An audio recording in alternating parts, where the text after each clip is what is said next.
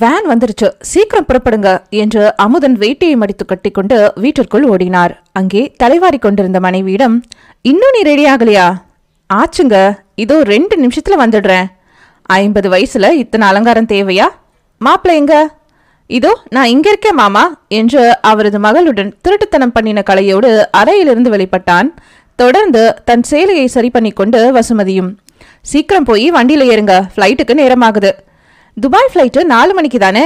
சொல்ல முடியாது. முன்னாடியே வந்தாலும் வந்துடும் அப்புறம் நம்ம வரலன்னு நினச்சிக்கிட்டு அஜய் டாக்ஸி பிடிச்சி வந்துட போகிறான் அவனை நம்ம ஏமாத்திடக்கூடாது. ஆமாம் ஆமாம் ஏற்கனவே அண்ணனை ரொம்ப ஏமாத்தியாச்சு என்று வசுமதி முணுமுணுக்க என்னடி சொல்கிற அது வந்துப்பா. வந்து நீங்கள் வண்டியில் வாங்க. நான் கடை வீதியில என்னோட ப்ளவுஸை வாங்கிட்டு ஏண்டி ப்ளவுஸ் வாங்குற நேரமா இது? முன்னாடியே வாங்கி வச்சுக்க கூடாது வேலு வெளியே ஒப்புக்கு கேட்டு கண் சுமிட்டினான். சும்மா ஒரு பேச்சுக்கு. நான் என்ன பண்றதா? ஆளை வெளியே விட்டாதானே? என்று அவனது இடுப்பில் கிள்ளினாள். பிளவுஸ் எங்கடி கொடுத்துருக்க? சர்ச் பக்கத்துல புதுசா வந்திருக்கிற டெய்ஸியிடம் மச மசன்னு பேசிட்டு நிற்காம சீக்கிரமா போய் வாங்கி அங்கேயே போட்டு பார்த்துட்டு வந்துரு என்று அம்மா விரட்ட சரிம்மா என்று வசுமதி தெருவில் இறங்கி ஓட ஆரம்பித்தாள். வழியில் தண்ணீர் எடுத்து வந்த அந்த பெண் என்னடிம்மா இன்னைக்கு ஒரே துள்ளல்? எங்க அண்ணன் துபாயிலிருந்து வருது ஏர்போர்ட்டுக்கு போறோம். அப்படியா? உங்க அம்மா சொல்லவே இல்லையே என்றவள் சரி சரி நெத்தில பொட்டெல்லாம் கலைஞ்சிருக்க பாரு. மாப்பிள்ளை ரொம்பவே களைப்பறிச்சிட்டாரு போல இருக்கு சி போங்க அத்தை. சர்ச்சுக்கு பின்புறம் அந்த வீடு பாசி படர்ந்திருந்தது. திண்ணையில் சிமெண்ட் பெயர்ந்து எறும்புகள் கும்பல் கும்பலாய் மணல் துகள்களை குவித்திருந்தன. வசுமதி உள்ளே எட்டி பார்த்து டெய்சிக்கா என்று கத்த இதோ வந்துட்டேன் என்று கொசுவத்தை இடுப்பில் செருகிக் கொண்டு இருபத்தி ரெண்டு ஒன்று வெளியே வந்தது. அவளது சேலையில் எண்ணெய் பிசுக்கு ஊருக்கெல்லாம் பிளவுஸ் தைத்து கொடுத்தாலும் அவளது பவுசை தைக்க நேரமில்லை மனசும் இல்லை. கக்கப்பகுதியில் விரிசல் ஒட்டின வயிறு முகத்தில் மாத்திரம் மலர்ச்சி கவர்ச்சி. அக்கா என் பிளவுஸ் எப்போவோ ரெடி போட்டு பார்க்குறியா? என்று எடுத்து நீட்டினாள். வசுமதி மறைவுக்கு போகாமல் அங்கேயே ரவிக்கையை கழற்றி மாட்டி கண்ணாடியிடம் நின்று சரியா இருக்குக்கா நான் வரேன்க்கா என்று அழகு பார்த்தாள். நானும் எத்தனையோ டைலரிடம் தைச்சு பார்த்துட்டேன். இத்தனை கச்சிதமா யாருமே தைக்கல. நீங்க வந்த பின்புதான் எங்களுக்கு நிம்மதி. உங்க அண்ணன் எத்தனை மணிக்கு வராரு? உனக்கு என்னென்ன வாங்கி வராரா? தெரியல. உன்னை பார்த்தா பூரிச்சு போயிடுவார்ல கல்யாணத்துக்கு முந்தி போனவர் இப்போதான் வராருன்னு சொன்னாங்களே. உடனே டெய்ஸியின் முகம் வாடுவதைக் கண்ட வசுமதி அக்கா உங்க அண்ணனும் துபாய் போயிருக்கிறதா கேள்விப்பட்ட அவர் எப்ப வராரா?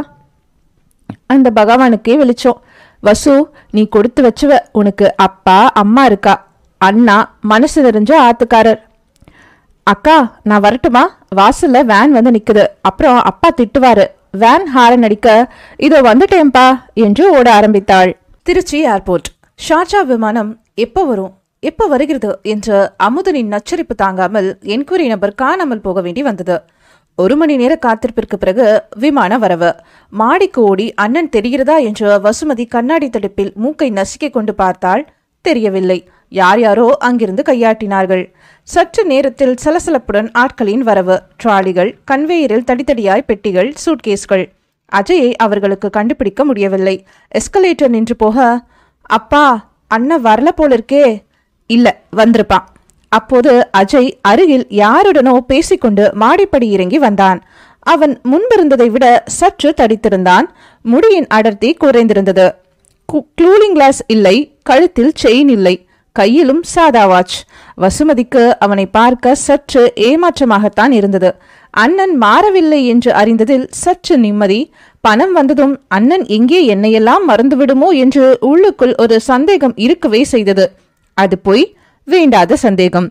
இரும்பு கிரில்லுக்கு அந்த பக்கம் அஜய் நிற்க எப்படிப்பா இருக்க என்று அப்பா உருகினார். அஜய் என்னப்பா இப்படி எழைச்சு போயிட்ட? என்று அம்மா பெண்களுக்கே உரிய கண்ணீரை கொட்டினாள். அஜய் பயணமெல்லாம் எப்படி இருந்தது?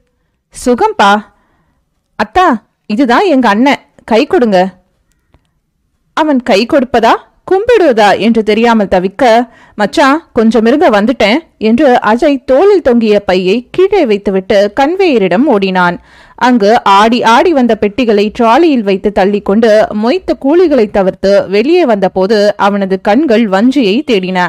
வஞ்சி அவனுக்காக காத்திருந்த தூரத்து உறவு.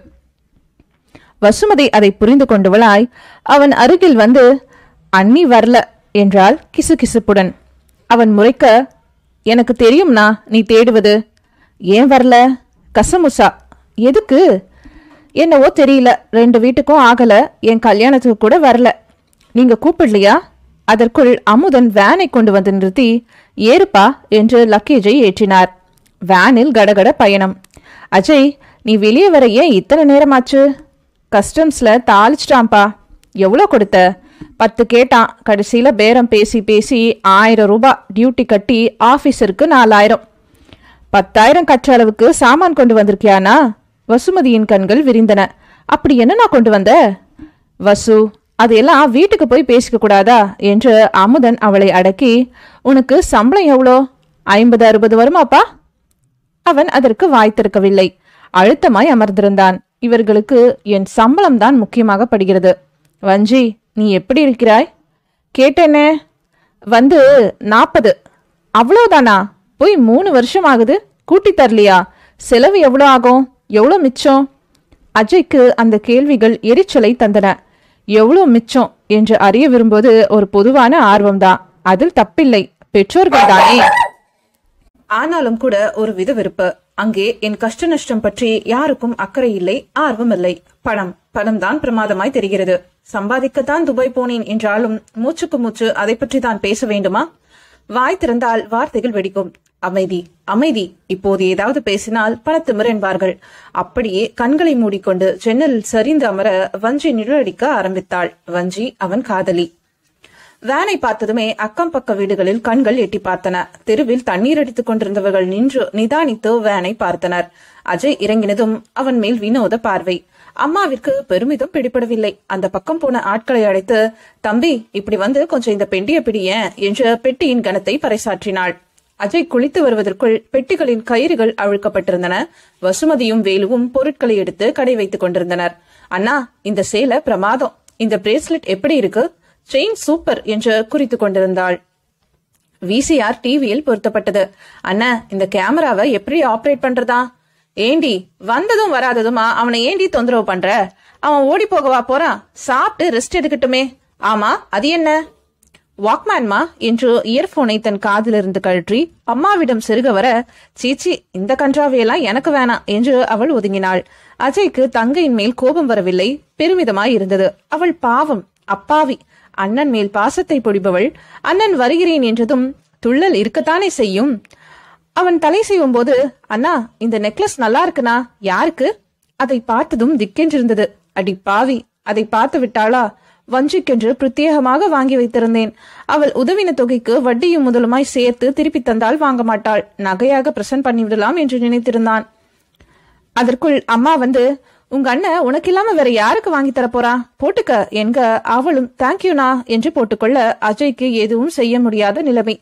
வஞ்சியை பார்க்கும்போது எப்படி வெறும் கையோடு போவேன்? சேலை கொடுக்கலாம் ஆனால் வெளியே தெரிந்துவிடும். வீட்டில் யாராவது அவளை பற்றி பேச்செடுப்பார்கள் என்று எதிர்பார்த்தவனுக்கு ஏமாற்றம். அவளாவது வரக்கூடாதா? முன்பு வேண்டாததற்கெல்லாம் வருவாள். இப்போது வேண்டும் என்கிற போது ஆளக்கானோம் காணோம். ஆவலை அடக்கி வைக்க முடியாமல் அம்மா அந்த வஞ்சி எப்படி இருக்கா? என்க அம்மாவின் முகம் சுருங்கி போயிற்று. அஜய் நீ எல்லாம் அவளை பார்க்க போகாத. ஏமா அவ சரியில்லை. என்ன சரியில்லை? அதெல்லாம் உனக்கு ஏன்? நம்ம தகுதிக்கும் கௌரவத்துக்கும் அந்த உறவு வேணாம். உனக்கு ஏத்த மாதிரி வேறு இடத்துல பெண் பார்க்கலாம். அம்மா ஏன் இந்த திடீர் முடிவு? அவன் வகையில சொந்தம்னு சொல்லி நீ தானே அறிமுகப்படுத்தி வச்ச? அதெல்லாம் சரிதான். அப்ப உறவு இருந்தது இப்ப முறிஞ்சு போச்சு. அவள் சொல்லி கொண்டிருக்கும் போதே வசுமதி அண்ணா வஞ்சி வந்திருக்கு என்று வாசலில் இருந்து கத்தினாள். வந்துருவாளே எதையாவது கொத்தி கொண்டு போக? அம்மா முணுமுணுக்க அஜய் அவளது வாயை புத்தி அடக்கிவிட்டு ஹாலுக்கு போனான். அம்மாவின் வார்த்தைகள் வஞ்சியின் காதிலும் விழுந்திருக்க வேண்டும். அதை அவள் கேட்காதது போல அஜய் எப்ப வந்தீங்க? எப்படி இருக்கீங்க? என்றாள் வறட்சியான புன்னகையுடன். அவளிடம் நிறைய மாற்றங்கள். முன்பு போல ஆள்மேல் வந்து விழுவதில்லை. கண்களில் அந்த பழைய துருதுருப்பில்லை. புத்துணர்ச்சி இல்லை. அடிபட்டு சுருங்கினது போல தளர்ந்து போயிருந்தாள். பெரிய பெண்ணாகிவிட்ட பக்குவம். வஞ்சி ஒழுங்கா சாப்பிடறது இல்லையா நீ? அப்படி இல்லனா ஏக்கம் அஜய் ஏக்கம் வசுமதி அப்படித்தானே என்று அவளை பிடித்து கிள்ள சீ என்று வெட்கப்பட்டாள். அஜய் என்ன மொத்தமா மறந்துட்டீங்க. கடிதமே போடுறதில்ல. போட்டேனே. எப்போ? அவ்வப்போது போன மாசம் கூட எழுதி உன்னிடம் சேர்த்து விடும்படி வீட்டுக்கு அனுப்பின கடிதத்துடன் சேர்த்து அனுப்பியிருந்தேன். எனக்கு கிடைக்கல. அம்மா அந்த கடிதத்தை வஞ்சிக்கு நீ கொடுக்கலையா? அம்மா வஞ்சியை முறித்து எந்த கடிதம்? ஓ அதுவா? உங்க அப்பாவிடம் கொடுத்து கொடுக்க சொன்னேன். அவர் எங்க போட்டாரோ தெரியல. ஏண்டிமா பையன் அலுப்பா வந்திருக்கான். போயிட்டு அப்புறமா வரக்கூடாதா? அவன் ரெஸ்ட் எடுக்கட்டும். வஞ்சி சாரி என்னை மன்னிச்சிரு. எப்படி எப்படி மன்னிப்புதான்? நீங்க வருவது ஊர்ல இருக்கிற எல்லாத்துக்கும் தெரிஞ்சிருக்கு. என்ன தவிர யாரோ மூணாவது மனுஷன் சொல்லித்தான் நான் தெரிஞ்சுக்க வேண்டியது இருக்கு. மறந்துட்டீங்க. வஞ்சி அப்படியெல்லாம் எதுவும் இல்ல. என்னை நம்பு. மேற்கொண்டு இங்க பேச வேணாம். சாயந்தரம் கோயில் கிட்ட வரேன். வா உன்னிடம் நிறைய பேச வேண்டியிருக்கு. தட்டி கழிப்பு சேச்சே அப்படியெல்லாம் ஒன்றும் இல்லை வஞ்சி கொஞ்சம் இரு என்று அவன் பெட்டியிலிருந்து பார்சல் ஒன்றை எடுத்து நீட்ட என்ன இது? என்றாள். சேலை. நான் சேலை வாங்குவதற்காக வரவில்லை என்று சொல்லிவிட்டு விருச்சென்று கிளம்பினாள். பாத்தியா அவளது திமிர? இதுக்கு தான் அவளோட சகவாசமே வேணாம்னு சொன்னேன். மாலை நான்கு மணிக்கு விநாயகர் கோவில் களை கட்டியிருந்தது. அங்கு புதிதாய் கோபுரம் ஒன்று கட்டப்பட்டு அதற்கு கும்பாபிஷேக ஏற்பாடுகள் நடந்து கொண்டிருந்தன. கோபுரத்தின் பொம்மைகளில் சாரம் அமைத்து வர்ணம். காம்பவுண்டிற்கு வெள்ளை. வெளியே தெருவில் புதிதாய் கட்சிக்கொடிகள் முளைத்திருந்தன. ஹோமகுண்டங்களுக்கு பந்தல் வண்ண விளக்குகள் ஊரின் இளைஞர் நற்பணி மன்றம் அங்கே லுங்கி சகிதம் ஆஜர். மன்றமில்லாமல் புது இடத்திற்கு போனால் வேலை வெட்டி இல்லாதவன் என்று திட்டு. பெண்ணுங்களை துரத்துகிறான் என்று கெட்ட பெயர். அவர்கள் ஆளுக்கு ஒரு வேலையாய் செய்து கொண்டிருக்க அஜய் வருவதைக் கண்டதும் முகம் மலர்ந்தனர். அஜய் எப்ப வந்த நீ? எப்படி இருக்க? முடி கொஞ்சம் காணிக்க கொடுத்துருப்ப போல? வேறு எந்த வித்தியாசமும் தெரியல. ஆமா எங்களுக்கு என்ன வாங்கி வந்த? என்ன வேணும்னு கேட்டதுக்கு யாரும் பதில் எழுதல. உனக்கு என்னப்பா? கடிதம் எழுதி இந்தியா வருபவர்களிடம் கொடுத்து ஒரு ரூபாயில் போஸ்ட் பண்ணி விடுகிறாய். நாங்கள் போடணும்னா பன்னிரெண்டு ரூபாய் கட்டுப்படியாகுமா? அவன் பேச்சை மாற்றி கும்பாபிஷேகம்லாம் எப்படி? என்று கேட்டுவிட்டு வஞ்சி அந்த பக்கம் வருகிறாளா என்று நோட்டமிட்டான். அவன் வந்ததே அதற்குத்தானே? அதான் பார்க்கிறல்ல. இளைஞர் நற்பணி மன்றம் கும்பாபிஷேகத்தில் ஒரு கலக்கு கலக்க போகுது. தண்ணீர் பந்தல் சாப்பாடு பொட்டலும் ஆர்கெஸ்ட்ரா தொகுதி எம்எல்ஏவை அழைச்சி வந்து மரக்கன்று வைக்க போகிறோம் ஆண்டவா இந்த பசங்களுக்கு என்ன ஆச்சு? ஏரிக்குளம் பொண்ணுங்கன்னு பின்னாடி சுற்றுறதை விட்டுட்டு நல்ல நல்ல காரியம் பண்ணுறாங்களே கண்ணுங்களா இதுக்கெல்லாம் துட்டு அதிகம் ஆகுமே நீ இருக்கல்ல கவலை ஏன்? அடப்பாவிகளா பாவினும் படு பாவினும் எப்படி வேணாலும் அழைச்சிக்கோ. அதை பற்றி கவலை இல்லை. உன் வகையில் ரொம்ப இல்லை ஒரு பத்தாயிரம். அஜய் பத்தாயிரமா? என்று வாய்ப்பிழந்த போது டெய்ஸி கையில் எண்ணெய் கிண்ணத்துடன் கோவிலிலிருந்து வெளிப்பட யாரா இது? எங்கேயோ பார்த்த சாயல்ல இருக்கு? என்றான் புருவத்தை உயர்த்தியபடி. நீ பார்த்துருக்க சான்ஸே இல்லை. இது நம்ம ஊர் பொண்ணே இல்லை. அப்புறம் அரியலூரா. அங்கே ஏதோ பிரச்சனை. பெற்றோர்கள் விபத்தில் மரணம். பெயர் டெய்ஸி இங்கே மாமா வீட்டில் வந்து தங்கியிருக்கு. உனக்கு தெரியுமா? அது ரொம்ப நல்ல பிளவுஸ் தைக்குது. வந்து ஒரு மாசத்திலேயே ஊர் பொண்ணுங்களை வளைச்சு போட்டுருச்சு. ஆமாப்பா கடலை போடுறதுன்னா இப்போ அந்த பக்கம் தான் போக வேண்டியிருக்குதுன்னா பார்த்துக்கோயேன் உங்கள் ஆளுக்கு தைக்கணும்னா கூட அவ்விடமே கொடுக்கலாம். உங்க ஆளை பார்த்தியா? இன்னும் இல்லை. அது போகட்டும். டெய்ஸினா கிறிஸ்டின் இல்லை? அப்புறம் இங்கே வந்து விளக்கு போடுது? அதுதான் விநாயகர் மகிமை. அந்த டெய்ஸியின் முகம் அவனை என்னவோ பண்ணிற்று நல்ல பரிச்சயம் உள்ள முகம். இவளை இதற்கு முன் எங்கேயோ பார்த்திருக்கிறேன். எங்கே என்றுதான் தெரியவில்லை. அந்த கண்களில் இருந்த சோகம் அவனை தாக்கிற்று. அவள் மேல் இனம் புரியாமல் ஒருவித ஈடுபாடு. ஆடிப்பாடி அகம்பாவமாய் நடக்கும் பெண்களை விட அமைதியும் அடக்கமும் எளிதாய் ஈர்க்கிறது ஈர்க்கிறாள். இந்த வயதில் அவளுக்கு என்ன பிரச்சனையோ? பசங்களெல்லாம் நீ இங்கே இரு நாங்கள் ஊருக்குள்ள போய் கீற்று ஏற்றி வருகிறோம் என்று டயர் வண்டியில் தொற்றினர். நீயும் வருகிறாயா? ம் கல்ஃப்காரனுக்கு டயர் வண்டி பிடிக்குமா? வாங்கடா. அஜய் வஞ்சி வருகிறாளா? என்று தூர சைட் அடித்தான். சும்மா அமர்ந்திருக்க முடியாமல் கோவிலை சுற்றி வந்தான். அலங்கார வேலைப்பாடுகள் பந்தல் கால்கள் இருட்டியும் கூட அவளை காணும். சரி நாளை பார்த்து கொள்ளலாம். என்று கிளம்பின போது பெரியவர் ஒருவர் ஓடி வந்து தம்பி சர்ச்சு பக்கம் போவியா? போக சொன்னா போறேன். என்ன விஷயம்? இந்த டிஃபன் கரியரை கொஞ்சம் திரவியம் வீட்டில் கொடுத்துடுறியா? எந்த திரவியம்? அதுதான் அந்த டைலர் பொண்ணுல அவங்க மாமா. கொடுங்க என்று வாங்கி கொண்டு நடந்தான். அவன் அந்த பக்கம் நகர்ந்ததும் இந்த பக்கமாய் வஞ்சி வந்து சேர்ந்திருந்தாள். அவளது கண்கள் அஜயை தேடின. பெருசா கோவிலுக்கு வான்னு சொன்னாரே. எல்லாம் வெறு பேச்சு அவள் விளக்கு ஏற்றி சாமி கும்பிட்டு விட்டு அங்கு பந்தல் கால் நட்டு கொண்டிருந்தவர்களிடம் அஜய் வந்தாரா? துபாயா? இப்பதான் போச்சு. எங்க? அந்த டெய்ஸி வீட்டுக்கு என்று புன்னகைத்தனர். சீக்கிரம் போமா உனக்கு முன்னாடி அந்த பொண்ணு அஜயை கொண்டு போயிட போகுது. பசங்கள் சும்மா சொன்னாலும் கிண்டலுக்காக தான் பேசினார்கள். ஆனாலும் அது அவளது உள்ளத்தை தாக்கிச்சு அஜய்க்கு அவள் வீட்டில் என்ன வேலை? அவர் எதற்கு அங்கே போக வேண்டும்? தான் வருவதை எனக்கு தெரிய வைக்கவில்லை. என்னால் ஏர்போர்ட்டுக்கும் போக முடியவில்லை. வீட்டிற்கு போனாலும் முகம் கொடுக்கவில்லை. வீட்டினரின் பேச்சு கேட்டு இவரும் மாறிவிட்டாரா? என்னை வேண்டுமென்றே ஒதுக்குகிறாரா? பழசையெல்லாம் மறந்து விட்டாரா? அன்று துபாய் போவதற்கு நான் தேவைப்பட்டேன். வீட்டினருக்கு தெரியாமல் அவர்கள் கொடுத்த நகையை ஹாஸ்டலில் இருப்பதாக சொல்லி அடமானம் வைத்து பணம் எடுத்து கொடுத்து அனுப்பினேன். திரும்பும்போது நான் அவருக்கு வேண்டாமல் போய்விட்டேனா? அந்த தெருவில் இருட்டு பரவியிருந்தது. பூவரச மரங்களில் மஞ்சள் நிலாக்கள் மரத்தின் அடியில் மாடுகள் கட்டப்பட்டு அசை போட்டுக் கொண்டிருந்தன. சர்ச்சில் எரிந்த விளக்குகள் தான் அந்த வீட்டை காப்பாற்றின. ரோட்டில் வாகனங்கள் வெளிச்சமடித்து பறந்தன. அந்த வெளிச்சம் அந்த பக்கம் காவிரியிலும் பட்டு ஜொலித்துக் கொண்டிருந்தன. திண்ணையின் சிமெண்ட் பூச்சிகள் விரிசல் விட்டிருந்தன. நிலைக்காலுக்கு மேல்புறம் மாதா படம் ஒன்று தொங்கிற்று. அதன் கீழ் சிலுவை குறி. உள்ளே தையல் மிஷின் ஓடுகிற சத்தம் கேட்க கதவை தட்டி பார்த்தான். அது கேட்கப் போவதில்லை என்பதை புரிந்ததும் உள்ளே யாரும் இல்லைங்களா? என்று கத்தினான். அதற்கு உடனடி பதில் தையல் மிஷின் நிறுத்தப்பட்டு இதோ வந்துட்டேன். கொஞ்சம் இருங்க. குரலுக்கு பின்னால் மேக்ஸியில் டெய்ஸி ஓடி வந்து அவனை பார்த்து தயங்கி கதவுக்கு பின்னால் ஒதுங்கி யார் வேணும் என்றால் பவ்யமாய். திரவியம் இருக்காரா? இல்லை மாமா வெளியே போயிருக்கிறாரு. நீங்கள் யாரு? நான் வந்து அஜய் துபாயில் வேலை. ஓ வசுவோட அண்ணாவா? அவ சொல்லியிருக்கா. டெய்ஸி இப்போது அவனிடமிருந்து அந்நியம் விடுபட்டவளாய் முழுவதும் வெளியே வந்தாள். உள்ளே வாங்க சார். பரவாயில்ல கோயிலுக்கு போயிருந்தேன். இந்த டிஃபன் கரியரை உங்கள் வீட்டில் கொடுத்துட சொன்னாங்க. இந்தாங்க. தேங்க்ஸ் என்று வாங்கினவள் மாமா அங்க கோயில் வேலைக்கு போயிருந்தாரு. வரும்போது மறந்திருப்பாரு. ஒரு கிறிஸ்டியன் குடும்பம் இந்து சாமிக்கு சேவனம் பலே பலே. கிறிஸ்து என்ன இந்து என்ன? எல்லாம் ஒன்று தான் நிற்கிறீங்களே உட்காருங்க. காஃபி போட்டு வரேன். பரவாயில்ல வேணாம் நான் கிளம்புறேன் என்று அவளது கண்களில் தெரிந்த சோகத்தை தவிர்க்க முயன்றான். நீங்க துபாய் தானே சொன்னீங்க? எங்க அண்ணனை பார்த்தீங்களா? அதுவும் துபாய்க்கு போனதா தான் தகவல். துபாயா? சரியா தெரியல. வீட்டை விட்டு போய் நாலு வருஷமாச்சு. மூன்று வருடம் முன்பு ஒரு முறை துபாய்க்கு போக போறதா பாம்பேயிலிருந்து கடிதம் போட்டிருந்தது. அதுக்கு பிறகு எந்த தகவலும் இல்லை. அவர் பேரு? அல்ஃபோன்ஸ். அல்ஃபோன்ஸா? ஊரு? சேலம் பக்கம் வெள்ளந்தூர். அவரை தெரியுமா உங்களுக்கு? இல்லை இல்லை. துபாயில் அவர் எந்த மூலையோ? நான் இருப்பது பர்துபாய். அண்ணன் தான் எங்கள் வீட்டின் எதிர்பார்ப்பாக இருந்தது. ஏற்கனவே சீக்கில் பெற்றோர்கள் போன வருஷத்தில் இருவருமே போய் சேர்ந்துட்டாங்க. அப்புறம் அங்கே தனியாக இருக்க முடியாமல் வீட்டை காலி பண்ணிட்டு ரெண்டு மாதம் முன்னாடி தான் இங்கே வந்தேன். இப்போது எனக்கு ஆதரவு மாமா தான். சாரி என் கதையை சொல்லி உங்களோட மூடை கெடுத்துட்டேனா? பரவாயில்ல. அதனால் என்ன?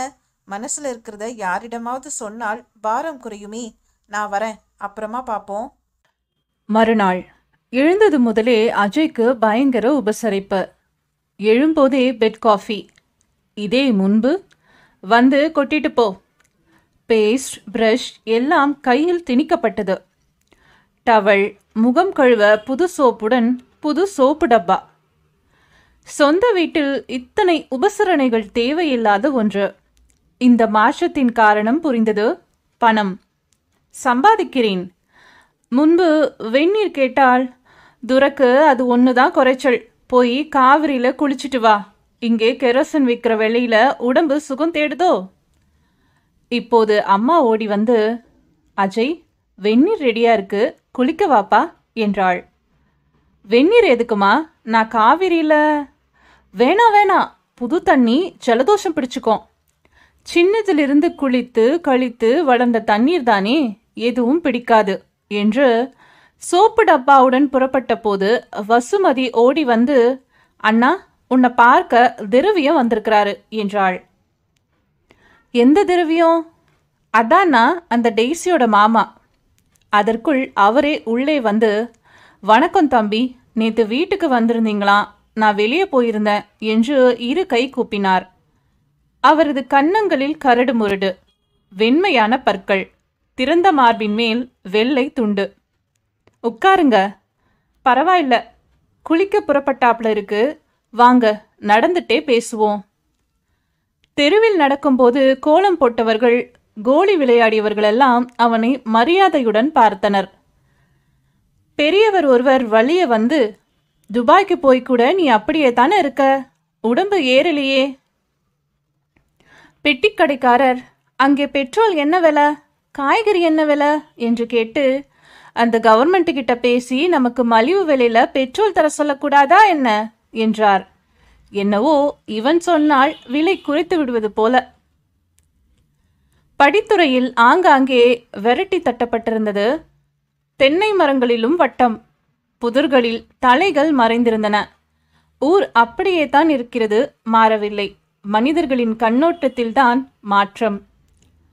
குளித்து வரும்போது திரவியம் நேத்து டெய்ஸி அல்ஃபோன்ஸ் பத்தி சொல்லியிருப்பாள்னு நினைக்கிறேன். உங்களை பார்த்தது எனக்கு அவனை பார்த்தது போலிருக்கு.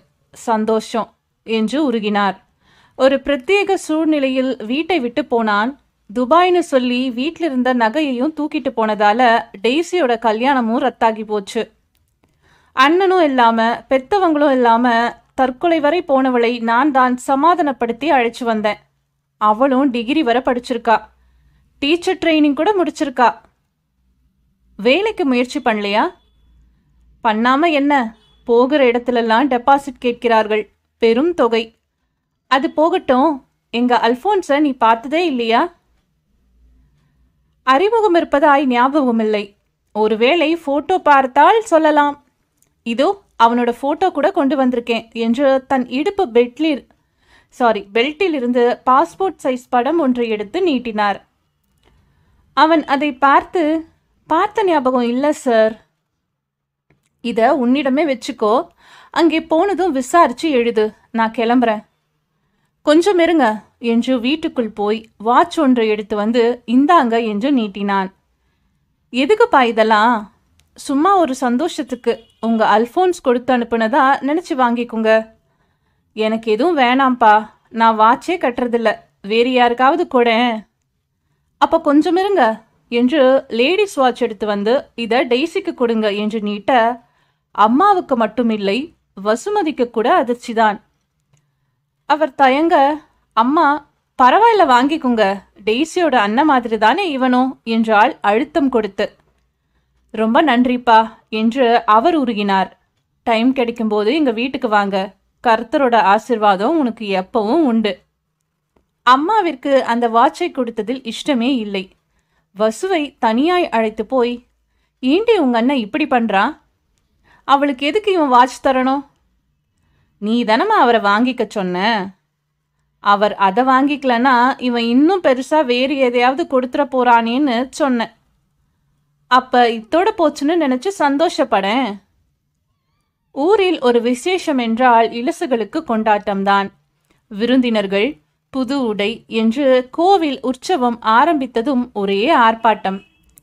வெளியூரில் படிக்கும் வேலை பார்க்கும் இவன்களும் யுவதிகளும் வந்து ஐக்கியமாகியிருக்க எங்கு பார்த்தாலும் வண்ணமயம். அவனவன்கள் தத்தம் ஆட்களை கவர் பண்ண வேண்டி ஆயக்கலைகள் அறுநூறையும் அறுநூறு? ஆமாம் அது அப்படித்தான். துவம்சம் பண்ணி கொண்டிருந்தனர். கலர் காகிதம் ஒட்டல் ஜிகினா வேலைகள் தண்ணீர் பந்தலுக்கு தண்ணீர் வேணும். உனக்கு புண்ணியம் கிடைக்கும். உன் சிற்றிடையில் பத்து குடம் கொண்டு வந்து ஊத்தேன். அவ்வளவுதான். சிட்டு பத்து என்ன? இருபதாக ஊற்றாதா? ஊற்றிற்று. தோரணம் கட்ட சணல் வேணும். பச வேணும் என்று பிரியப்பட்டதுகளின் வீடுகளில்தான் பசங்கள் கேட்பார்கள். பசையுள்ள இடத்தில்தானே ஒட்ட இயலும். அப்புறம் கண்ணே கோலம் போடவா? குத்து விளக்குத்தா? குருக்கள் கோமியம் கேட்டாரு. என்று செம்புடன் போய் நிற்பர். குருக்கள் கேட்டிருக்கவே மாட்டார்கள். இதெல்லாம் ஒரு சந்தர்ப்பம். யாரும் தப்பாக எடுத்துக்கொள்ள மாட்டார்கள். அஜயை பொறுத்தவரை அவன் அத்தனை உற்சாகத்துடன் இருந்ததாய் தெரியவில்லை. ஏதோ பசங்கள் அழைக்கிறார்களே என்று கும்பல் சேர்த்து கொண்டிருந்தான். ஆரம்பத்தில் பத்தாயிரம் என்றவர்கள் மொய்யை பதினைந்திற்கு கொண்டு போய் விட்டார்கள். ஏ சீரியல் லைட்டு போடணும். போடுங்களேன். பச பச. என் பசு காலி. அப்படி சொல்லாத கண்ணு உங்க ஆள் வருது பாரு. அதுக்கு முன்னாடி நீ கம்பீரமா நிற்க வேணாமா? வேணாம் சி இப்படியெல்லாம் சொல்லக்கூடாது. நிற்கணும் நீ கல்ஃபில் வேலை பார்க்கறது நம்ம ஊருக்கே பெருமை. சாப்பாடு பொட்டலம் ஸ்நாக்ஸ் எல்லாம் உன் வகைதான்னு ஊரெல்லாம் சொல்லி வச்சிருக்கோம். வேணும்னா ஸ்பீக்கரிலும் அனௌன்ஸ் பண்றோம். ஐயோ அப்படியெல்லாம் செஞ்சிடாதீங்க. பாத்தியாடா அஜய்க்கு விளம்பரம் பிடிக்காதுன்னு நான் அப்பவே சொல்லலை. அதுக்கு இல்லை அப்பாவுக்கு தெரிஞ்சா கடிச்சு தள்ளிடுவாரு. ஏற்கனவே அவரிடம் கணக்கு சொல்லி மாளல அப்போது அந்த பக்கம் வஞ்சி வருவது தெரிய உங்காளு உங்காளு என்று பசங்கள் நழுவ பார்த்தனர். ஏய் எங்க போறீங்க? அந்த சக்தியோட கோபத்துக்கு ஆளாக வேணாம்னு தான். அவ ஏன் கோபிக்கணும்? ரொம்ப நேரமா நீ தனியா கிடைக்க மாட்டியான்னு உன்னையே நோட்டமிட்டு இருக்கு எதுக்கு? ஆமா தெரியவே தெரியாதாமே. என்று ஒருவன் தாடையில் இடித்துவிட்டு போனான். அதற்குள் வஞ்சி அருகில் வந்து புன்னகைக்கலாமா வேண்டாமா என்று யோசித்த வேளையில் அஜய் தூரத்திலிருந்து பார்க்கும் அம்மாவை கண்டு காலரை ஒதுக்கி கொண்டு நடக்க நில்லுங்க என்று அதட்டினாள். என்ன? உங்க கூட பேசணும். இந்த கூட்டத்திலா? வீட்டுக்கு தான் வரமாட்டீங்களே? நானும் அங்க வரக்கூடாது. அப்படியெல்லாம் யாரும் கேஸ் போடல. இந்த நழுவுற வேலையெல்லாம் வேணாம். பொம்பளை நான் வெக்கத்தை விட்டு கேட்குறேன் உங்க மனசுல என்ன நினைச்சிட்டு இருக்கிறீங்க உண்மை அது உண்மைன்னா என்னை கண்டு ஏன் பயப்படணும்? உண்மைன்னா சுடுமே அதனால தான் இந்த கிண்டலெல்லாம் வேணாம் லீவ் எத்தனை நாள்? இன்னும் ரெண்டு வாரம். நீட்ட முடியாதா? இது என்ன ரப்பரா? இல்லை லஞ்ச வழக்கா? நீட்டிக்கிட்டே போகிறதுக்கு ஓகே இனியும் நீட்டி கொண்டு போக வேணாம் ரெண்டு வாரம் பத்தாதா கல்யாணத்துக்கு? அப்போது ஹலோ மிஸ்டர் அஜய் என்று குரல் கேட்க திரும்பி பார்த்தார்கள். டெய்ஸி மைசூர் சில்கில் மின்னிக் கொண்டிருந்தவள் தண்ணீர் பந்தல் ஸ்நாக்கெல்லாம் உங்க செலவாமே? வாழ்க்கையில சம்பாதிச்சா மட்டும் போதாது அதை நாலு பேருக்கு உதவுவதும் பெரிய மனசும் கூட வேணும். தேங்க்ஸ் சரி அப்புறமா பார்க்கலாம். என்று அவள் கும்பலில் கலக்க வஞ்சி முறைத்து அவளுடன் உங்களுக்கு என்ன வழிசல் ஏன்? உன்னுடன் மட்டும் போதும் என்கிறாயா? அவளோட பிளவுஸ் எப்படி மின்னுது பாரு. நீ அவள்கிட்ட தைக்கிறது இல்லையா நான் கேட்டதுக்குள்ள பதில் சொல்லுங்க. அவள் என்ன கேட்டாள் என்று யோசிப்பதற்குள் அம்மா அங்கே வேகமாய் வந்து அஜய் சாமிக்கு தீபாராதனை காட்டுறாங்க பாரு. அப்பா கூப்பிடுறாரு. என்று வஞ்சியிடமிருந்து அவனை பிரித்து இழுத்து கொண்டு போக? அவளுக்கு ஏமாற்றம்.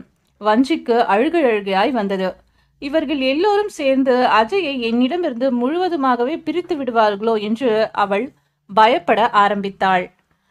தில்லை நகரில் அப்பா குறிப்பிட்ட அந்த புரோக்கர் செழித்து கொழுத்திருந்தார். அவரது வீடே பளபளப்பாக இருந்தது. அவர் சாதா புரோக்கர் இல்லை போலும் இரண்டு போன்கள் கம்ப்யூட்டர் ஏசி அறை கார் என்று ஒரே கோலாகலம். வீடு மனை விற்க வாங்க பதிவு செய்யவும் என வெளியே போர்ட் எல்லாவற்றையும் கம்ப்யூட்டரில் பை- பதிவு செய்து விடுகிறார். அஜய் போன போது இருபது பேர்கள் அங்கே காத்திருப்பு. இதோ பாருங்க சார் உங்க ரேட்டுக்கு இப்போ திருச்சியில இடமும் இல்ல கட்டிடமும் இல்ல. விக்னேஷ் அபார்ட்மெண்ட்ல ஒரு வீடு விலைக்கு வருது. ரெண்டு room hall kitchen balcony. First கிளாஸான தண்ணி. பஸ் ஸ்டாப்புக்கு மூணு நிமிஷம் நடந்தால் போதும். சரின்னு சொன்னீங்கன்னா நாளைக்கே முடிச்சிடலாம். விலை? எட்டு. வந்தவர் யோசிச்சு சொல்கிறேன் என்று எழ அடுத்த நபர் காத்திருந்தவர் போல சார் எனக்கு அந்த வீட்டை முடிச்சிருங்க என்று பாய்ந்தார். உடன் முதல் நபருக்கு ரோஷம் வரப்பெற்று சார் அது நான் பார்த்தது. வேறு யாருக்கும் தரக்கூடாது. அப்போ சீக்கிரமாக முடிங்க. சரி முடிச்சிடலாம். போட்டி. போட்டிக்கு போட்டி போட்டா போட்டி. ஒன்று சும்மா இருக்கும்போது அதன் மேல் யாருக்கும் நாட்டமில்லை. அதற்கு இன்னொருவர் மோதுகிறார் என்கிற போது உடன் ஆவேசம்.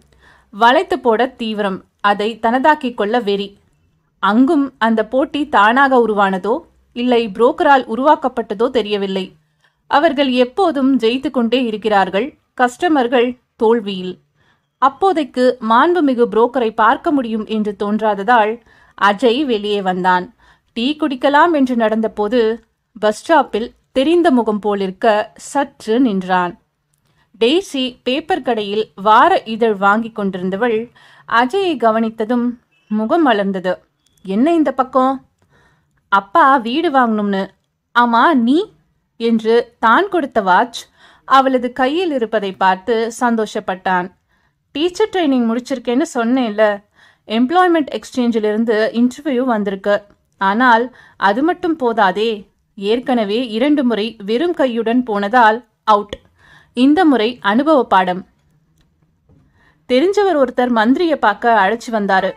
ஐம்பது கேட்குறாங்க யாரு? மந்திரியா? இல்ல அவருக்கு வேண்டப்பட்டவர். மாஜி மந்திரிகள் ஜெயிலுக்கும் கோர்ட்டுக்கும் படுற பாட்டை பார்த்தும் கூடவா பணம் கேட்குறாங்க மந்திரி வாங்கினா தானே குத்தம்? பினாமி தானே? இந்த பணம் மந்திரிக்கு போகுமா? அவருக்கு இது தெரியுமான்னு கூட தெரியாது. இயல்பில் அவர் நல்லவள். அவரை நேரில் பார்க்க முடியாததால் பூசாரிகள் விளையாடுகிறார்கள். பரவாயில்லை. வேலை கிடைச்சா போதும். பணம்? அதுக்கு தான் வழி தெரியல. காது கை நகைகள் இருக்கு. விற்கலாம். பத்தாதற்கு தையல் மிஷின். அப்படியும் கூட கஷ்டம்தான். டெய்ஸியை காது மூக்கெல்லாம் மூலியாக ஒரு நிமிடம் அஜய் கற்பனை செய்து பார்த்தான். அவனுக்கு கஷ்டமாக இருந்தது. மனது சங்கடப்பட்டது. நீ எதையும் விற்க வேணாம். அப்புறம் ஐம்பது தானே? நான் தரேன். வேணாம் சார். ஏற்கனவே உங்கள் வாட்சை கட்டியிருப்பதற்கே பொறாமப்படுறாங்க. பட்டுட்டு போகிறாங்க. நகை நிக நிறைய இருந்தால் விற்கலாம். இருக்கிற ஒன்று ரெண்டையும் ஏன்? அப்புறம் அந்த தையல் மிஷின்? ஊர் பசங்களெல்லாம் உங்கள் தையலை புகழ்கிறார்கள். ஏன் தையலையா? இல்லை தையலான என்னையா? ரெண்டையும் தான் பணம் எப்போ வேணும்னு சொல்லுங்க. நான் ஏற்பாடு பண்ணுறேன் அப்போது உங்கள் வீட்டு பிளான் வீடு எப்போ வேணும்னாலும் வாங்கிக்கலாம். ஆனால் வேலை அப்படி இல்லையே. வயசு போச்சுன்னா வேலை போச்சு. வயசு என்றதும் அவளது முகத்தில் திடீரென ஒரு வாட்டம். வயசு போச்சுன்னா வேலை மட்டுமா போகும்? கல்யாணம் எதிர்காலம் ஏன் மொத்த வாழ்க்கையுமே? என்ன யோசனை? நான் எதுவும் தப்பாக சொல்லிட்டேனா? இல்லை பணம் தரேன்னு சொல்வது உங்களது பெருந்தன்மை தயால குணம். ஆனால் எந்த அடிப்படையில் அதை நான் வாங்கிக் கொள்வேன்? அதை எப்போ எப்படி திருப்பித் தரப்போகிறேன் திருப்பி தரது தானா பிரச்சனை? சம்பளத்தில் மாசம் கொஞ்சமாய் தவணை முறையில் தரலாமே? என்ன சொல்றீங்க?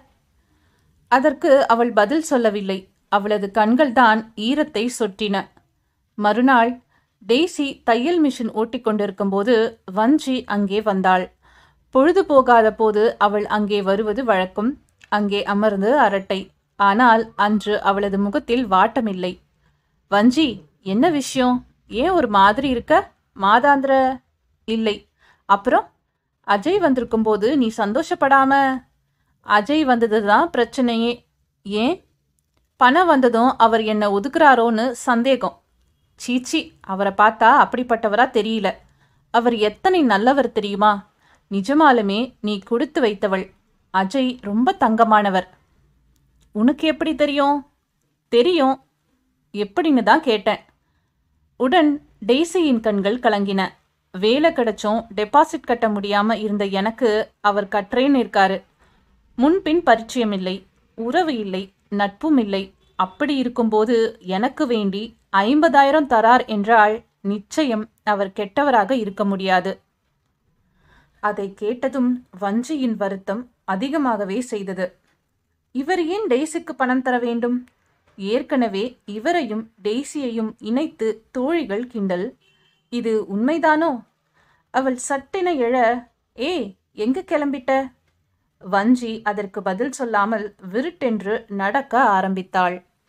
ஆற்றில் நீர் சலசலப்புடன் ஓடிக்கொண்டிருந்தது. ஆண்களுக்கு தனியாகவும் பெண்களுக்கு தனியாகவும் படித்துறை இருந்தும் கூட பசங்களின் நோட்டமெல்லாம் மறுபக்கம்தான். பெண் படித்துறையில் அஜயின் தாய் பக்கெட்டில் அழுக்கு துணியை அமுக்கி வைத்திருந்தால் பாவாடையை இழுத்து கட்டிக்கொண்டு அலசி பிழுந்து உருட்டி படியில் வைத்தாள். கொஞ்சம் மேல் படியில் வஞ்சி குத்துக்காலிட்டு அமர்ந்து கையில் கிடைத்த பொடிக்கற்களை ஆற்றில் எறிந்தபடி அத்தை முடிவா? என்ன சொல்றீங்க? என்றாள். படித்துறையில் அப்போது வேறு பெண்கள் எவரும் இல்லாதது வசதியாக போயிற்று. சி பொறுக்கி நாயே ஒரு தரம் சொன்னா தெரியாது என்று நீந்தி கொண்டு இந்த பக்கம் வந்து எட்டி பார்த்த இளைஞனை பார்த்து கத்தினாள். பொம்பளை குளிக்கிற இடத்துல உனக்கு என்னடா பார்வை? இங்கே அவுத்து போட்டுக்கிட்டு ஆடுறாங்களா? அவளது வார்த்தைகளில் இருந்த சூடு வஞ்சியையும் தாக்கிற்று. அந்த சூடு தனக்கும் சேர்த்துதான் என்பது அவளுக்கு புரிந்தது. கத்துக்கிறாள் என்பதற்காக சும்மா விட்டு விட முடியுமா என்ன? அத்தை கேட்குறேன்ல எப்போ எங்கள் கல்யாணம்? சி வெக்கமா இல்லை உனக்கு? பொட்ட நீ? என்று கேட்டுவிட்டு தண்ணீரில் மூழ்கினாள். பாவாடை பொம்மி கொண்டு மேலே வர அதை அமர்த்தியபடியே எழுந்து முகத்து நீரை வடித்தபடி ஏண்டி இப்படி அலையிற? பொம்பளைன்னா ஒரு அடக்கம் ஒடுக்கம் வேணும். உங்களுக்கு மருமகளாக வரத்துக்கு அதெல்லாம் வேண்டியதில்லை. என்னடி முனகுற? ஆமாம் அடக்க ஒடுக்கத்தோடு இருக்காள்னு சொல்லித்தான் உங்கள் மகனை அவள்கிட்ட அனுப்புறீங்களாக்கும்? ஏய் வார்த்தையை அளந்து பேசு. எவள்கிட்டடி அவனை அனுப்புறேன்ற? அவ தான் அந்த டெய்ஸி மரியாதை கெட்டு போகும் கழுத. என்ன பேச்சு பேசுகிற நான் பேசல ஊர் பேசுது. ஊர் என்னடி பேசிச்சு? தோலை உரிச்சு போடுவேன். சொல்லுடி. என்று கோபமாய் நீர் சொட்ட சொட்ட படியேறினாள் உங்கள் மக மதம் மாறப்போறார்னு தான் எதுக்கா? அப்பத்தானே அவளை கட்டிக்க முடியும்? என்னடி சொன்ன? என்று அவள் கையை உங்க வஞ்சி தடித்து அது பொய்னா எதுக்காக அவர் அவளுக்கு வாட்ச் தரணும்? அவள் வீட்டுக்கு எதுக்கு போகணும்? அவன் போனதை நீ பாத்தியா? பார்த்தேன். கோயிலில் ரெண்டு பேரும் இழிச்சு இழிச்சு என்ன கன்றாவியோ தெரியல. அவள்கிட்ட அப்படி என்ன இருக்கா? தோல் சிகப்பு நல்லா சிரிக்கிறா. ஏய் இப்போ நிறுத்த போறியா இல்லையா? இது மட்டும் பொய்யா இருந்தது உன்னை வெட்டி ஊறுகாய் போட்டுருவேன். போய் விசாரிங்க. விசாரிக்க தாண்டி போகிறேன் என்று துணிகளை பக்கெட்டில் அள்ளி போட்டாள். இதுக்கே இப்படி கோவப்பட்டா எப்படியா? அவள் வேலைக்குன்னு தர்மதுரை ஐம்பதாயிரம் ரூபாய் பணம் தந்திருக்காராம். அதையும் விசாரிச்சுட்டு அப்புறம் யாரை வெட்டுறது யாரை ஊறுகாய் போடுறதுன்னு முடிவுக்கு வாங்க. வஞ்சியின் வீடு. அவளது பெற்றோர்கள் வஞ்சி இன்னுமா நீ அவனையும் நினச்சிக்கிட்டு இருக்கிற? மறந்துடு. எங்கள் பேச்சு கேளு. முடியலையேம்மா. எனக்கு அஜய் வேணும். ஆனால் அவனுக்கு அந்த டேசி தானே வேணுங்கிறான் அப்படின்னு அவர் சொன்னாரா? சொல்லணுமா? செயலில் காட்டினால் போதாதா? நமக்கும் மான மரியாதை இருக்குது பணம் வந்ததும் அவன் வீட்டினார் தான் மாறிட்டாங்கன்னா அவனும் கூட மாறுவான்னு கொஞ்சம் கூட எதிர்பார்க்கல. அப்பா ப்ளீஸ் எனக்கு இன்னும் ஒரு சந்தர்ப்பம் கொடுங்க. கடைசியாக அவரிடம் நான் ஒரு வார்த்தை வஞ்சி கண்களை துடைத்து கொண்டு வெளியே கிளம்பின போது கேட்டை திறந்து கொண்டு அமுதன் உள்ளே பிரவேசம். அவரை கண்டதும் அவளுக்கு ஆச்சரியம் சந்தோஷம். மாமா என்ன இவ்வளோ தூரம்? எல்லாம் உனக்கு வேண்டித்தான் உள்ளவா என்று நாற்காலியில் அமர்ந்து சம்மந்தி சீக்கிரம் ஒரு நல்ல நாள் பாருங்க. அஜய் சம்மதிச்சிட்டானா? அதை பிறகு பார்த்துக்கலாம். விட்டால் முதலுக்கே மோசம். யாரோ ஒரு கிறிஸ்துவ பெண்ணாம். எப்படி அவன் மயக்கினா? ஏன் இவன் மயங்கினான்னு தெரியல. நம் ஜாதி என்ன? மதம் என்ன? அவளது பூர்வீகம் பற்றி தெரியாது. இவனுக்கு புத்தி ஏன் கெட்டுப்போச்சு யாரோ ஒரு அந்நிய பெண்ணை விட தெரிஞ்ச வஞ்சு எவ்வளவோ மேல். ஆனால் எங்கள்கிட்ட பணம் இல்லை. பணம் இல்லைன்னா சம்பாதிச்சுக்கலாம். ஆனால் மான மரியாதை வஞ்சி இனி நீயாச்சு அவனாச்சு. முதலில் அவனை பார்த்து புத்தி சொல்லு. நழுவி போய் விடாமல் முந்தானியில் முடிந்து கொள்ள வேண்டியது உன்னுடைய சாமர்த்தியம். வசுமதி அப்பா அம்மா எல்லோரும் தூண்டியதன் பேரில் வேலு அஜயிடம் தனியாக பேச முயன்றான். அவனுக்கு அஜயிடம் பேசவே பயம் தயக்கம். ஒரு மாதிரி சமாளித்து கொண்டு மச்சான் உங்களோட நடவடிக்கைகளை பார்த்து வீட்டினர் பயந்து போயிருக்கிறாங்க என்று மென்று விழுங்கினான். அவ யாரு? அவளுக்கு நீங்க ஏன் உதவணும்? இந்த கேள்விக்கு என்னிடம் பதில் இல்லை. அவளை கட்டிக்கிற மாதிரி என்னமா இல்லை அப்புறம் அப்படி என்ன அவள் மேல் திடீர் பாசம்? சாரி இது பற்றி மேற்கொண்டு எதுவும் கேட்க வேண்டாம் என்று விட்டு அஜய் தெருவில் இறங்கினான். கொஞ்சம் நடந்து வரலாம் என்று கல்லணை பாலத்தை அடைந்த போது வஞ்சி பின்னால் ஓடி வந்தாள். பாலத்தின் முகப்பில் டூரிஸ்ட் வண்டிகளும் கார்களும் நின்றிருந்தன. இளநீர் குவியல். ஆற்றில் ஜோவென சலசலப்பு. கட்டை சுவரிலிருந்து எட்டி பார்த்தால் தண்ணீர் நம்மையும் இழுத்து கொண்டு ஓடுவது போல பிரம்மை. ஆற்றின் அக்கறையிலிருந்து தஞ்சாவூர் பஸ் வந்து ஜனங்களை உதிர்க்க அந்த கூட்டம் கலைந்ததும் வஞ்சி ஐஸ்கிரீம் வாங்கினாள். அஜயிடம் நீட்டி ஒரு வழியா உங்க அப்பாவும் சம்மதிச்சிட்டாரு என்று குதூகலித்தாள். எப்போ நம்ம கல்யாணம்? இப்போ வேணாம். ஏன்? லீவ் முடிய போகுது. பரவாயில்ல தாலி மட்டும் கட்டிடுங்க போதும். இனியும் என்னால் பைத்தியம் மாதிரி அலைய முடியாது. எந்த நேரத்தில் யார் யாருடைய மனது மாறும்? யார் எந்த ரூபத்தில் வில்லனாக வருவார்கள் என்று யூகிக்க முடியாத அவஸ்தை. சீக்கிரம் நாம் ஒன்று சேர்ந்தாக வேண்டும். இப்போ இப்படி தான் சொல்லுவ. அப்புறம் பிரிந்திருக்கும் போது உருகுவ. இப்போ மட்டும் என்ன வாழுதான் உருகி எலும்பு தான் மிச்சம். என்ன சொல்கிறீங்க இதில் நான் சொல்கிறதுக்கு என்ன இருக்குது பெண் புத்தி பின் புத்தி தானே. உங்களுக்கு எப்போதுமே பிடிவாதம். ஒன்றை நினைத்து விட்டால் அதை எப்படியும் சாதிக்க வேண்டும். உங்களுக்கு எப்போதும் அன்றன்றைய சுகம்தான் முக்கியம். பின்வினைவுகள் பற்றி சிந்திப்பதில்லை. அப்புறம் பின்னால வருத்தம் ஏக்கம் பெருமூச்சு இதெல்லாம் சொல்லி புரிய போவதில்லை. அப்போ நான் என்ன பண்ணுறதா அடுத்த லீவ் வரை காத்துரு. இப்போ என்னவா? வஞ்சி நான் சொல்கிறத கேளு.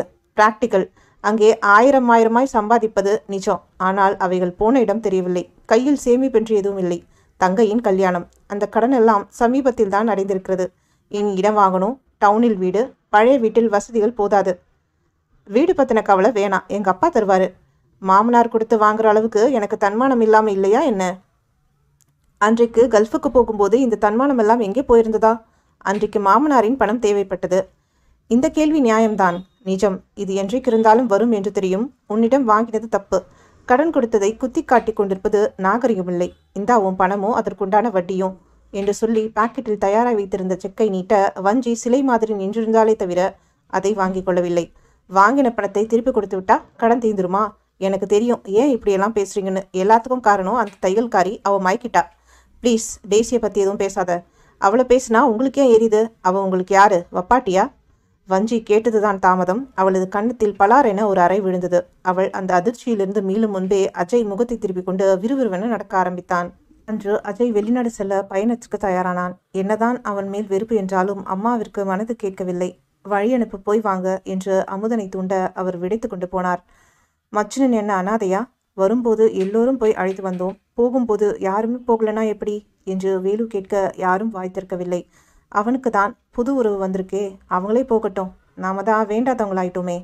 வசுமதி நீங்க புறப்படுங்க. நானும் வரேன் என்று கிளம்பினாள். பஸ் ஸ்டாண்டில் அஜயை மடக்கி நாங்களும் வரோம்னா. உங்களுக்கு எதுக்கு சிரமம்? இங்கிருந்து திருச்சிக்கு வருவதில் என்ன சிரமமா? திருச்சி ஃப்ளைட்டில் சீட் இல்லை அதனால மெட்ராஸ் போய் தான் போக போகிறேன் மெட்ராஸ்னால் நாங்கள் வரமாட்டோமா என்ன? என்று அவள் சொல்லி கொண்டிருக்கும் போதே திரவியமும் டெய்ஸியும் அவசர அவசரமாய் ஓடி வந்தார்கள். டெய்ஸி அஜய் உடம்ப பத்திரமா பார்த்துக்கோங்க அடிக்கடி லெட்டர் போடுங்க என்க அதை கேட்பதற்கு வசுமதிக்கு என்னவோ போல் இருந்தது. இதற்காக இந்த உரிமையோ தெரியவில்லை. சொந்த வீட்டினர் கூட இத்தனை பாசத்தை காட்டவில்லை. புது சொந்தத்திற்கு எத்தனை அக்கறை? அது பாசமா இல்லை வேஷமா தெரியவில்லை. எதுவாக இருந்தாலும் சரி அண்ணனை விட்டு கொடுக்க கூடாது. டெய்ஸியும் ஏர்போர்ட்டிற்கு வழி அனுப்ப போகிறாளா? அவளே போகும்போது நாம் போகாவிட்டால் எப்படி? தன்மானமும் ஆக்ரோஷமும் எழ அஜயுடன் அவர்களும் பஸ்ஸில் தொற்றினார்கள். ஆனால் டெய்ஸி ஏறவில்லை. கீழே இருந்து டாட்டா காட்டியதோடு சரி.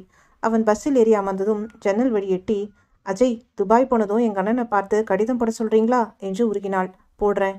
நீங்களும் போடுங்க அவரையும் போட சொல்லுங்க என்று அவள் தன் கண்களை துடித்துக்கொள்ள அஜயின் நெஞ்சு பாரமாயிற்று. ஆம்னி பஸ்ஸில் சென்னை ஏர்போர்ட்டின் வாசலில் இறங்கின போது அங்கே வழக்கமான சலனம் தெரியவில்லை. ஒரு வித வெறுமை. வண்டி தள்ளி கொண்டு ஓடி வரும் கூலிகளை காணவில்லை. டாக்ஸிகளும் குறைவு. நின்றிருந்த வாகனங்கள் கூட வெளியே கிளம்பி கொண்டிருந்தன. அங்கங்கே பொது தேர்தலின் கட்டவுட்டுகள் தோரணங்கள். வாசலில் ஒரே பரபரப்பு. போலீஸ்கள் வயர்லெஸுடன் இங்குமங்கும் ஓடிக்கொண்டிருந்தனர். சூழ்ந்திருந்தவர்களிடமும் பீதி. வரவேற்பறையில் இயல்பான புன்னகை இல்லை. அஜய் என்ன விஷயமா? தெரியல. மந்திரி யாராவது வந்திருப்பாங்க. தேர்தல் நேரமாச்சே. இருங்க என்னென்னு போய் விசாரிச்சுட்டு வந்துடுறேன் என்று செக்யூரிட்டி ஆஃபீஸ்க்கு ஓடினான். அங்கே இன்னும் கூட அமளி. காத்திருந்து என்ன விஷயம் சார் என்றான் பயமும் தயக்கமும் கலந்து. தேசிய தலைவர் ஒருவரை யாரோ குண்டு வச்சு மை காட் என்று அஜய் அலறினான். எங்கே எப்படி எப்போது? என்று கேட்பதற்குள் அவர் எங்கோ ஓடினார். கம்ப்யூட்டரில் அமர்ந்திருந்த பெண் கண்கலங்களுடன் படுபாவிகள் இந்த நாடு உருப்படாது என்று திட்டினாள். யாரா? தெரியல. வெறும் மெசேஜ் மட்டும்தான் வந்திருக்கு. அவரோட உயிருக்கு ஆபத்தில்லையே. பீஸ் பீஸா சிதறிட்டதா சொன்னாங்க. சரியாக தெரியல. ஐந்து நிமிடம் அஜய் மனதிற்குள் அழுதான். அநியாயம் அக்கிரமம். வன்முறைக்கும் ஒரு அளவில்லாமல் போயிட்டுருக்கு. விஷயம் கேள்விப்பட்டு திரவியமும் வாயெடுத்து போனார். வசுமதி விசும்பு விசும்பி அழுதாள். அஜய் இந்த நிலைமையில் ஃப்ளைட் போகுமா? இருங்க விசாரிச்சுட்டு வரேன் என்று ஓடினவன் தளருடன் திரும்பி வந்து துபாய் விமானம் கேன்சலாம் ஆனால் பாம்பேயிலிருந்து ஆப்ரேட் ஆகுதான். நான் பாம்பே. கதை நடந்த சமயம் மும்பை இல்லை போயிடுறேன். பாம்பேவுக்கு எப்படி? விசாரிச்சிட்டேன். கனெக்ஷனுக்கு ஃப்ளைட் விடுறாங்க. அந்த பிரபல தேசிய தலைவர் படுகொலை உண்மைதான் என்கிற பட்சத்தில் நாடு முழுக்க கலவரமாகியிருக்கும். ஜனங்களின் கொந்தளிப்பு இந்த நிலைமையில் நீ போய்த்தான் ஆகணுமா? வேலு கேட்டான். வேறு வழி இல்லை போய்த்தான் ஆகணும். நம் நாட்டில் ஆயிரம் பிரச்சனைகள் இருக்கலாம். அது பற்றி துபாய்க்காரனுக்கு என்ன கவலை? ஏற்கனவே லீவு நீட்டத்துக்கு கடுப்பாக இருக்கான். நாளைக்கு போய் டியூட்டியில் சேர்ந்தாகணும். இல்லைன்னா சீட்டை கிடிச்சிருவான் அண்ணா எனக்கு என்னவோ மனசே சரியில்லை. எதுக்கும் ரெண்டு நாள் பொறுத்து. ரெண்டு நாள் என்ன? ரெண்டு மாதம் கூட பொறுத்து போகலாம். வேலை வேண்டாம் என்கிற பட்சத்தில். அவர்களால் அதற்கு மேலும் மறுக்க முடியவில்லை. அஜய் கவுண்டரை நோக்கி போக திரவியம். தம்பி திரும்ப திரும்ப சொல்கிறேன்னு நினைக்க வேணாம். துபாய் போனதும் எங்கள் அல்ஃபோன்ஸை பார்த்து ஷோர் நான் வரேன். நீங்களெல்லாம் பத்திரமா பார்த்து போங்க. ஒரு மாதம் ஓடி போயிற்று. அந்த பிரபல தேசிய தலைவர் மரணத்திற்கு பிறகு தடைப்பட்ட தேர்தல் மீண்டும் சூடு பிடித்திருந்தது பரபரப்பு. ஆனால் அஜயிடமிருந்து கடிதமோ ஃபோனோ இல்லை. அவனிடமிருந்து பதிலில்லை என்றதும் வீட்டினருக்கு கவலையாயிற்று. ஒரு மாத அவகாசத்தில் அமுதனுக்கு கூட கோபம் சற்று தணிந்திருந்தது. எங்க அவன் நமக்கு லெட்டர் போடாட்டியும் டெய்ஸிக்கு போட்டாலும் போட்டிருப்பான். போய் விசாரிச்சு வாங்களேன் என்று அம்மா தொல்லை பண்ணினாள். ஆமாண்டி பெத்தவங்க வேணாம்னு இவன் ஊர்ல இருக்க கழுதைக்கெல்லாம் லெட்டர் போடுவான். நான் போய் விசாரிக்கணும் போல. அசிங்கம். இதுக்கு பேசாம தூக்கு போட்டுக்கலாம். ஆமா இன்னும் எவ்வளோ நாளைக்கு இப்படி விதண்டாவாதம் பண்ணிக்கிட்டு இருப்பீங்கன்னு நானும் பார்க்கத்தானே போறேன். அவனாக நம்ம விட்டு பாதி பிரிஞ்சா? நீங்க பாதி அனுப்பிச்சிங்க.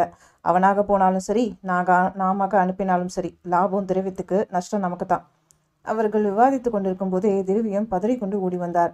சார் நம்ம மோசம் போயிட்டோம். மோசம் போனது நாங்கள் தானே. உமக்கு என்ன கவலை? அப்படி சொல்லாதீங்க. என் மேலே இன்னும் உங்களுக்கு கோபம் தீரலன்னு நினைக்கிறேன். கோபிக்கவும் சபிக்கவும் இது நேரம் இல்லை. அஜயிடமிருந்து கடிதம் வந்திருக்கு. அவன் இப்போ ஆபத்தில். ஐயோ அவனுக்கு என்ன ஆச்சு?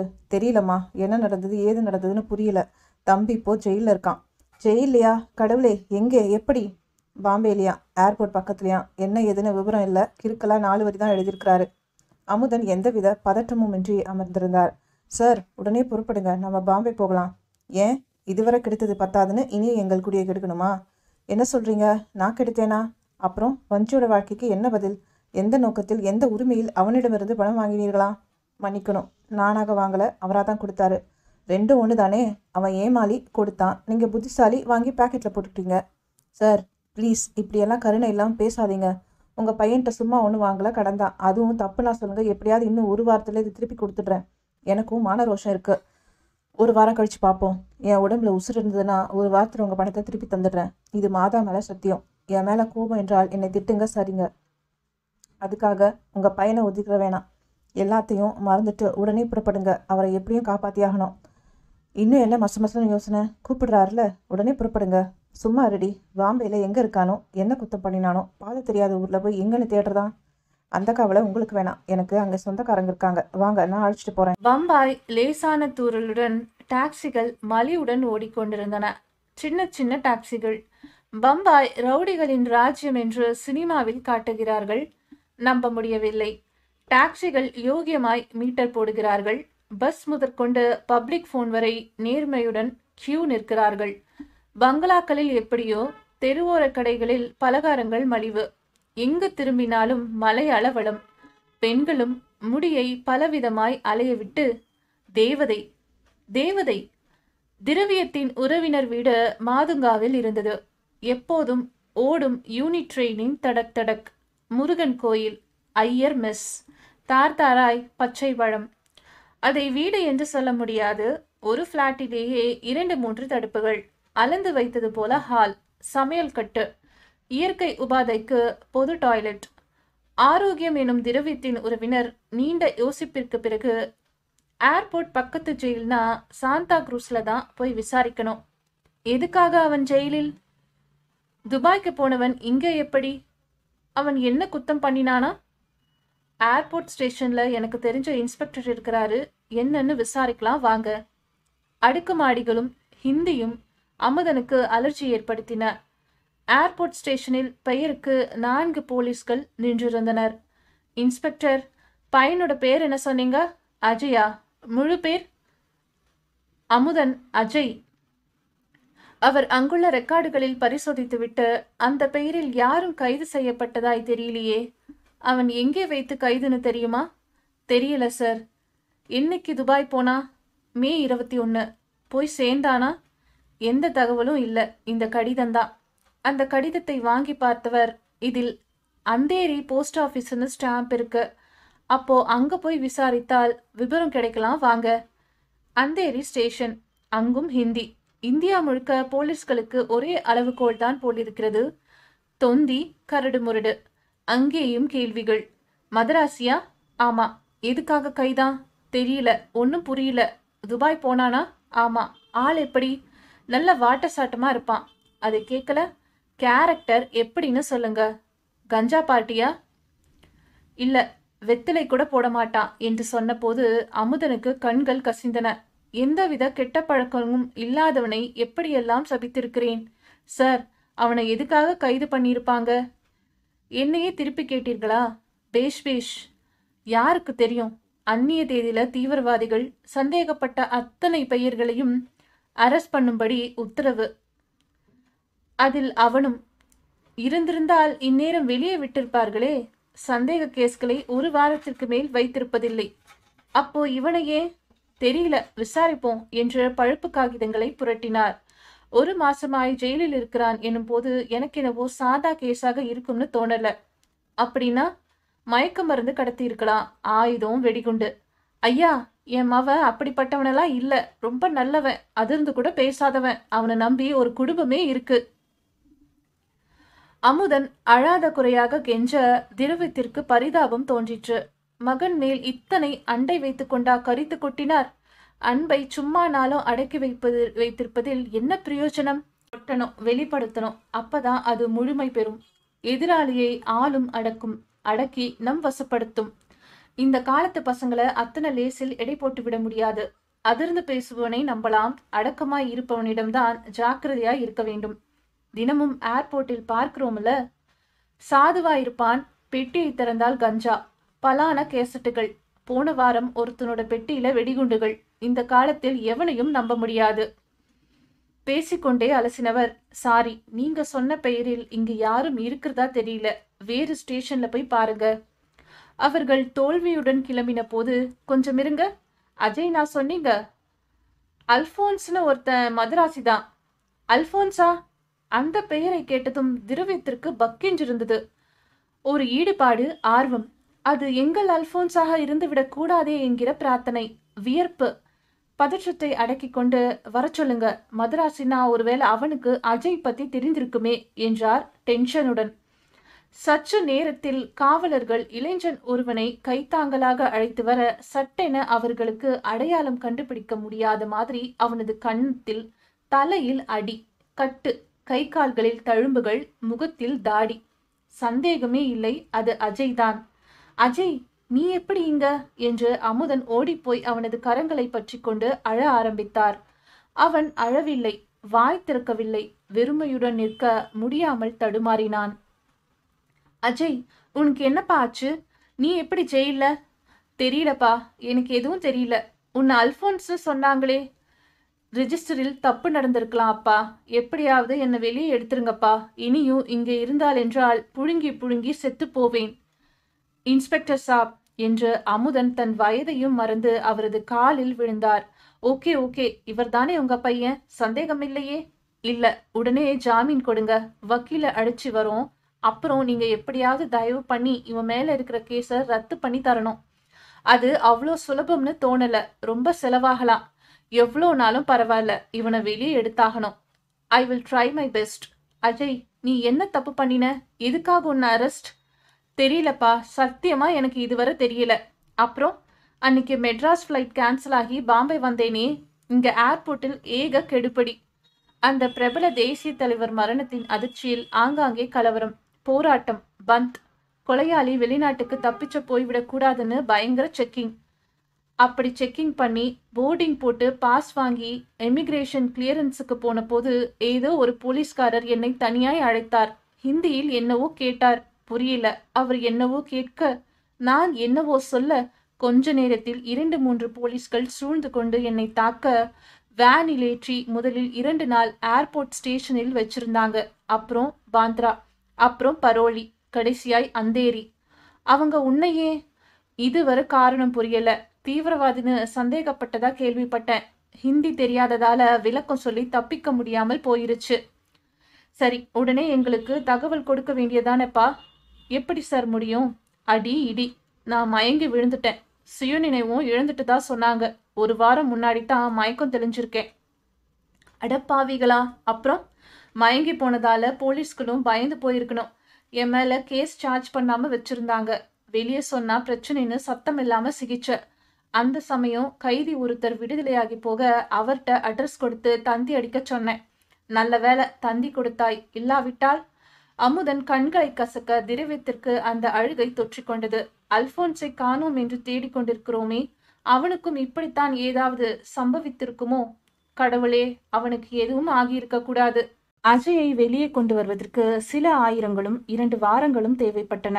வக்கீல்களின் ஆலோசனையுடன் கோர்ட் ஏறி வாதாடி அவனுக்கு விடுதலை பெறுவதற்குள் அவர்களுக்குள் போதும் போதும் என்று ஆகிவிட்டிருந்தது அவனது உடல்நிலை தேர்வதற்கு மேலும் இரண்டு வாரங்கள் பிடித்தன. உடல் மருந்துகளால் தேறிற்று. மனதுக்கு தான் மருந்தில்லை. ஊரில் ஒரே புகைச்சல். அவனை இலப்பமாய் பார்த்தனர். ஆளுக்காள் தப்பாக கிசுகிசுத்தனர். அஜய் துபாயில் ஃப்ராடு பண்ணிவிட்டான். அதனால்தான் அனுப்பிவிட்டார்கள் என்று சிலர். இல்லை இல்லை அவன் அங்கே யாரையோ கற்பழிச்சு கற்பழிப்புனா தூக்கில் போட்டுருவாங்களே இவனை திருப்பி அனுப்பினதே பாக்கியம். ஆமாம் ஆமாம் பொழைக்க போன இடத்துல இவனுக்கு ஏன் இதெல்லாம்? இங்கேயே ஒருத்தியை ஏமாத்தி இன்னொருத்தி பின்னாடி சுற்றிட்டு இருந்தானே அது பத்தாதுன்னு அங்கே போயுமா? அஜய் ஊர் பத்தி கவலைப்படவில்லை. யார் என்ன பேசினாலும் அவற்றை காதில் வாங்கிக் கொள்ளாமல் அறைக்குள் அடைந்து கிடந்தான். வீட்டினருக்குத்தான் பிரச்சனை. ஆனாலும் கூட அவனது மனது சங்கடப்படும் என்று வாய் மூடி இருந்தனர். வீட்டினரும் சரி ஊரினரும் சரி. முன்பு ஆடின ஆட்டம் என்ன? ஆர்ப்பரிப்பென்ன சம்பாதித்து வரும்போது மரியாதை. மதிப்பு தானே வருகிறது. வேலை போயிற்று என்றதும் எல்லாமே போயிற்று. இதுதான் உலகம் இதுதான் வாழ்க்கை. அவனுக்கு வேலை கிடைக்காத போதும் சரி இப்போதும் சரி. வஞ்சி ஒருத்திதான் ஆறுதல். அவள் மட்டும் மாறவே இல்லை. அப்படியே மாறாத அன்புடன் அவனையே சுற்றி சுற்றி வந்தாள் வந்து கொண்டே இருந்தாள். அவளது நெருக்கம் அஜய்க்கு சுகமாக இருந்தது. அரவணைப்பு தெம்பு தந்தது. பஞ்சி என் மேல உனக்கு கோபமா? ஏன்? எதுக்கு? உன்னை தவிக்க விட்டுட்டு போனதுக்கு. சீச்சி அதுக்கு தான் எனக்கு இந்த தண்டனைன்னு நினைக்கிறேன். வஞ்சி நான் இப்பவே தயார். உன்னை இனியும் காக்க வைக்க கூடாது சந்தோஷம். முதலில் உடம்பு தேரட்டும் தேறிடுச்சு. மனசும் தேரணும் வேலை கிடைக்காம அது தேராது வஞ்சி. வேலை இல்லைன்னு சொல்லி என்னை நீயும் ஒதுக்கிடுவியா? ஒரு அறை கொடுக்கட்டா? பாத்தியா வேலை இல்லைன்னதும் அரைகிற அளவுக்கு வந்துட்ட. இந்த அறை வேலை இல்லாததுக்கு இல்லை. என்னை எத்தனை முறை அரைஞ்சிங்க? பதிலுக்கு நான் ஒன்று தரலன்னா எப்படியா? என்ன தரப்போற? சீக்கிரம் சீக்கிரம். அது வந்து என்று அவள் குனிய அவன் மெதுமெதுப்பையும் கதகதப்பையும் அனுபவிக்கும் போது வாசலில் திரவியம் தென்பட்டார். உடன் அவர்களுக்குள் இடைவேளை. திரவியம் அந்த சூழ்நிலையை உணர்ந்து தயங்கி நான் பிறகு வரேன் என்று கிளம்ப என்ன விஷயம்? சொல்லுங்க சார். உட்காருங்க. இந்தா தம்பி என்று அவர் கவர் ஒன்றை நீட்டினார். என்ன இது? நீங்க கொடுத்த பணம் வட்டியும் சேர்த்து. நான் கேட்டேனா? கேட்காட்டியும் கொடுக்க வேண்டியது தானே முறை? எங்களுக்கு ஒரு கஷ்டம் வந்தபோது கொடுத்து உதவுனீங்க. இப்போ உங்களுக்கு நிச்சயம் தேவைப்படும். வேலை இல்லாம. வெட்டியா இருக்கேன்னு நீங்களும் குத்தி காட்டுறீங்க. ச்சே அப்படி இல்லை. வேலை தேடவும் உங்கள் கல்யாணத்துக்கும் இது உதவியா இருக்குமேனு தான். ஒரு அவசரத்துக்கு உதவலைன்னா அப்புறம் மனுஷனா பிறந்து என்ன பிரயோஜனம்? இவ்வளோ பணம் ஏது? எப்படியோ புரட்டினேன். அது ஏன் உங்களுக்கு? வாங்கிக்கங்க. திரவியம் பம்பாயில் செய்த உதவிகளில் நெகிழ்ந்து போயிருந்த அமுதன் இடைப்பட்டு நான் கேட்டேன்னு சொல்லி கொண்டு வந்திருப்பீங்கன்னு நினைக்கிறேன். பழசெல்லாம் மனசுல வச்சிருக்க வேணாம் தயவு செஞ்சு இதை எடுத்துட்டு போயிருங்க. பரவாயில்ல கொண்டு வந்துட்டேனே. எப்படி கொண்டு வந்தீங்கன்னு எனக்கு தெரியும். வீட்டை அடமானம் வச்சுதான் கேள்விப்பட்டேன். பணம் தேவை என்கிற போது அடமானம் வைக்கிறதுல தப்பில்லையே. அந்த அளவுக்கு தேவை இருக்கிறதா இப்போ தெரியல. அப்படி தேவனா அஜய் வாங்கி வந்த நகைகள் இருக்கு அவற்றை நாங்கள் விற்று சரி பண்ணி கொள்கிறோம் இதை எடுத்துட்டு போய் முதல்ல அடமான பத்திரத்தை மீட்டுட்டு வாங்க. அமுதனின் மாற்றம் அஜயையும் நெகிழச் செய்தது. திரவியம் கிளம்பி போனதும் அப்பா உங்களுக்குள் இத்தனை நல்ல மனசு இருப்பது இப்போதுதான் தெரிகிறது. அம்மா ஆவேசத்துடன் ஓடி வந்து ஆமா பெரிய நல்ல மனசு யாருக்கு வேணுமா? என்று கத்தினாள். அவராக பணத்தை திருப்பித் தரும்போது வாங்கிக் கொள்ள வேண்டியதுதானே? நீங்களும் மகனுடைய கட்சியில் சேர்ந்து விட்டீர்களா? ஆமா அப்படித்தான் வச்சுக்கோயேன் வெளியே தெருவில் உங்க பொன்னான வாக்குகளை எங்களுக்கு அளித்து மிகப்பெரிய வித்தியாசத்தில் வெற்றி பெற செய்ய வேண்டுமாய் கேட்டுக்கொள்கிறோம் என்று ஸ்பீக்கர் அலற அம்மா தானும் கத்த வேண்டாம் என்று நிறுத்தி கொண்டாள். அஜய் வேலை தேடிக்கொண்டிருந்தான் ஊரில் பசங்களெல்லாம் தேர்தல் வேலைகளில் மும்முரம். பிரபல கட்சித் தலைவர் ஒருவரின் அகால மரணத்தை காரணமாய் தாய் குளங்களெல்லாம் தங்களது ஓட்டுகளை ஏற்கனவே தீர்மானித்து விட்ட போதிலும் பணம் குடம் புடவை என்று கட்சிகள் கொடுத்தவற்றை மறுக்காமல் வாங்கி கொண்டிருந்தன. அமுதன் முன்பு போல மகனை கரித்து கொட்டவில்லை. அவனுடைய மனது உடந்துவிடக்கூடாது என்று ஆறுதல் சொல்லிக் கொண்டிருந்தார். அம்மாவுக்கு தான் அக்கம் பக்கம் பதில் சொல்ல முடியவில்லை. அஜய் இன்னும் ஏன் வேலைக்கு போகல? ஏதும் பிரச்சனையா? என்று நச்சரிப்பு. அடக்கி வைக்க முடியாமல் அஜய் நீ திரும்ப துபாய் போகலையா? என்றாள். போகணும். எப்போ? வேறு வேலை தேடி. ஏன்? பழைய வேலை? குறிப்பிட்ட நாளில் டியூட்டியில் சேரலனதும் என்னை நீக்கி விட்டார்கள் அப்போது வஞ்சி வந்து அப்பா அவங்களோட பயோடேட்டாவும் பாஸ்போர்ட்டும் வாங்கி வர சொன்னாங்க என்றாள். எதுக்கு? அவருக்கு தெரிஞ்ச ஏஜென்ட்டிடம் வேலைக்கு ஏற்பாடு பண்ணத்தான். அதெல்லாம் பிறகு பார்த்துக்கலாம். எடுத்து வசு சும்மா நிற்கிறியே அண்ணனோட பெட்டியிலேருந்து எடுத்துக்கொடு வசு சொன்னா கேளு வேணாம் என்று அஜய் அவசரமாக தடுத்தான். என் பெட்டியை தொடாதே என்று முகத்து வியர்வையை துடைத்து கொண்டான். ஏன்? வந்து ஒன்றுமில்லை பயோடேட்டாவெல்லாம் காணாமல் போச்சு. புதுசாக ப்ரிப்பேர் பண்ணி நானே கொடுத்து கொள்கிறேன். நீ போய் வேலையை பாரு. அவனுடைய பதட்டமும் வியர்ப்பும் வீட்டினருக்கு சந்தேகத்தை கிளப்பின. அவனிடம் என்னவோ ரகசியம் புதிந்து கிடக்கின்றது மறைக்கிறான் என்று யோசிக்க வைத்தன. அது என்னவென்று அறிய வேண்டி ஆராய தூண்டின. அம்மாவுக்கும் வசுமதிக்கும் ஏமாற்றமாக இருந்தாலும் அவர்கள் தோற்றுப்போக தயாராக இல்லை. ஒரு விஷயம் மறைக்கப்படுகிறது என்று அறியும் போது அதன் மேல் ஆர்வம் ஏற்படுவது சகஜம்தான். அதைத்தான் அறியும் வெறி என்பார்கள். ஆர்வமும் வெறியும் மட்டுமின்றி அஜய் பேரில் அக்கறையும் கூடிற்று. அவன் தவறான வழியில் போய்விடக்கூடாது என்கிற ஆதங்கம் பயம். வசு நாம கேட்டால்தான் அவன் சொல்ல மாட்டான். வஞ்சியை விட்டு கேட்க சொல்லலாம். அதுவும் நல்ல யோசனை தான் வஞ்சிக்கும் மசிலனா டெய்ஸியிடம் சொல்வோமா? உனக்கு கொழுப்பு ஜாஸ்தி.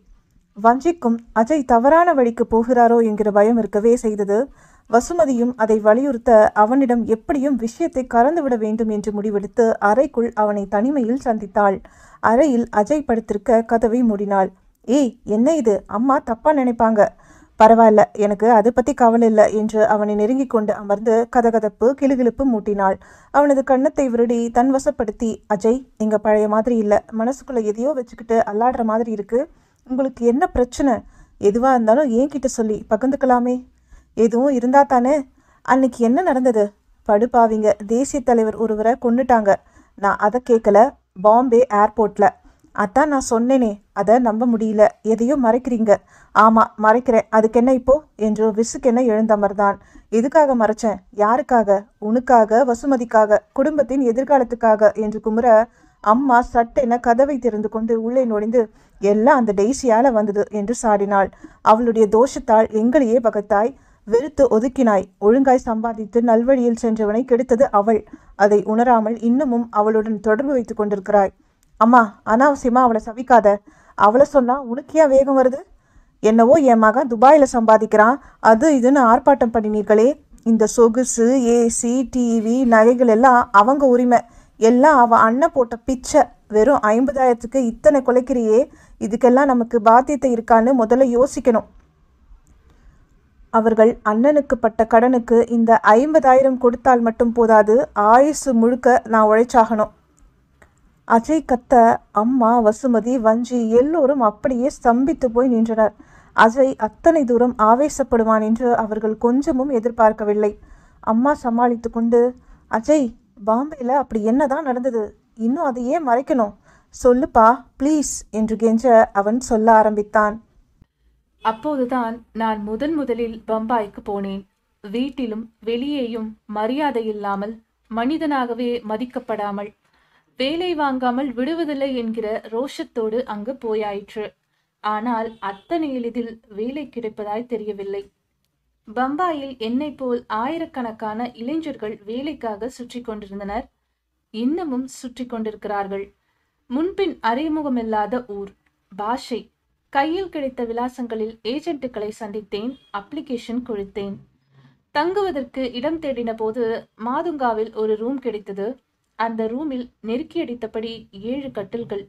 கட்டிலும் அதோடு சேர்ந்த தரையும் மட்டும்தான் எனக்கு சொந்தம். அங்கே சில நண்பர்கள் கிடைத்தனர். அவர்கள் மூலம் சில ஏஜென்சிகளில் அப்ளை பண்ணினேன். ஒரு சமயம் மாதுங்கா ஸ்டேஷனை விட்டு வெளியே வரும்போது இரண்டு போலீஸ்கள் வந்து வழிமறித்தனர். நீ யார்? என்ன? என்று கேட்டனர். விவரம் சொன்னேன். அவர்கள் நம்பவில்லை.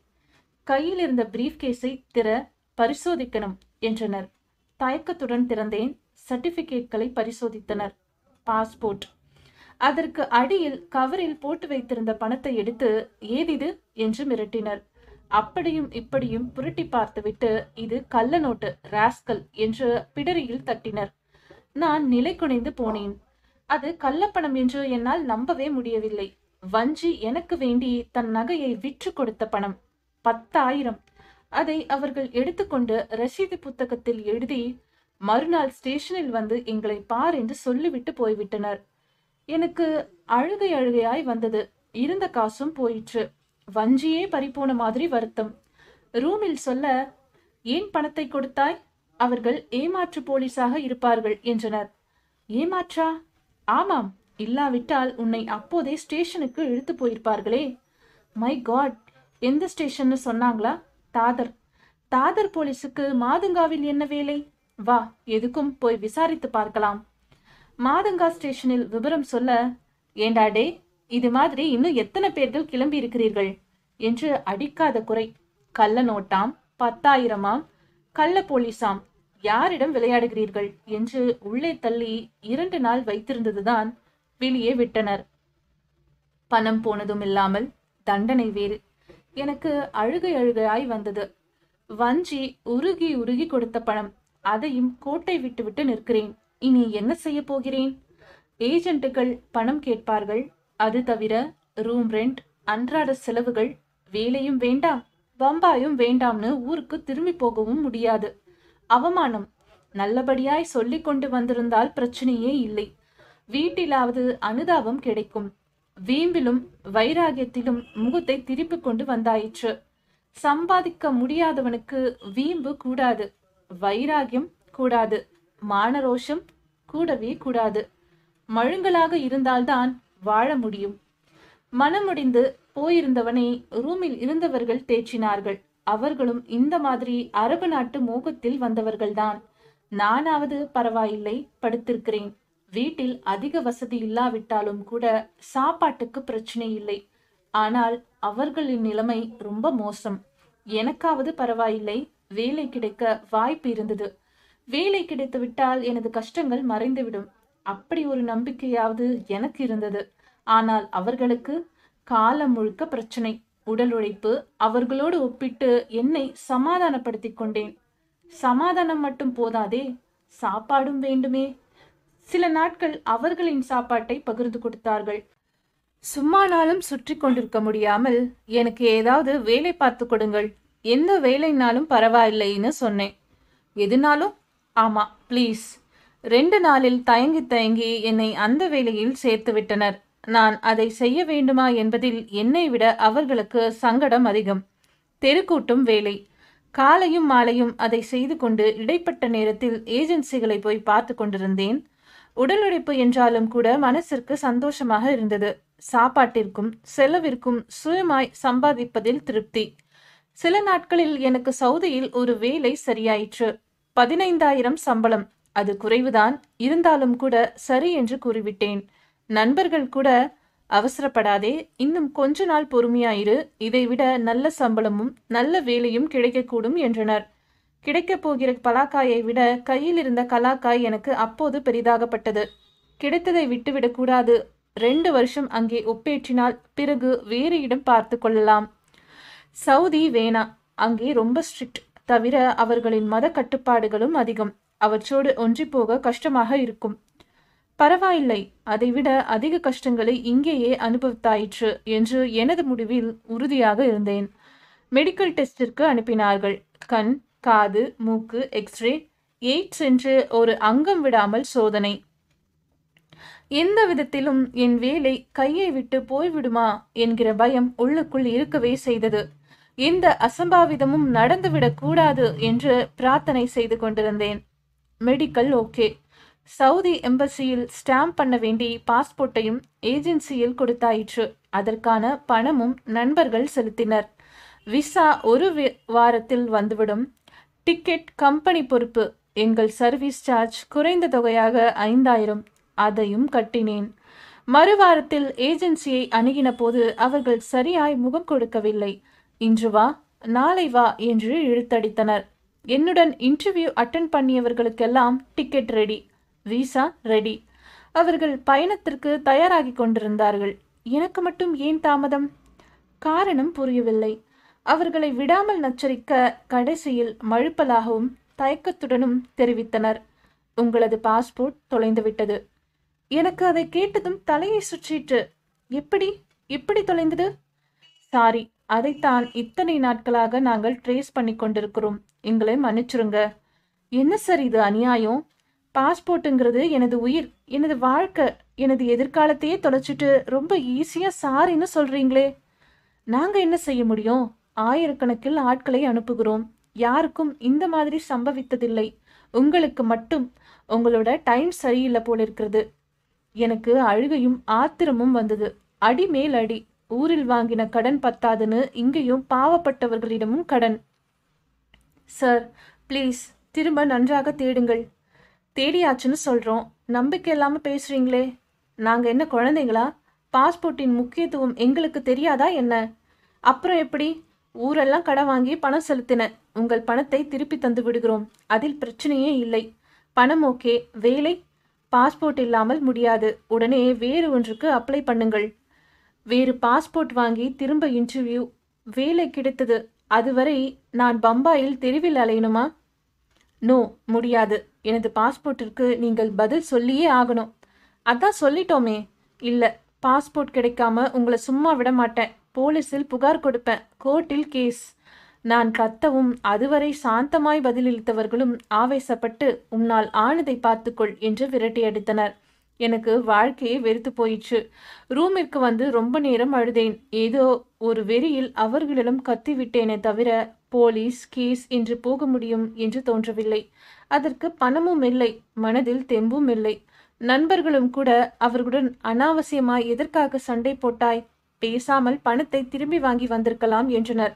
இனி அதுவும் கிடைக்காது. பாஸ்போர்ட்? அதுதான் தொலைந்து போயிற்றுன்னு சொல்லிட்டாங்களே.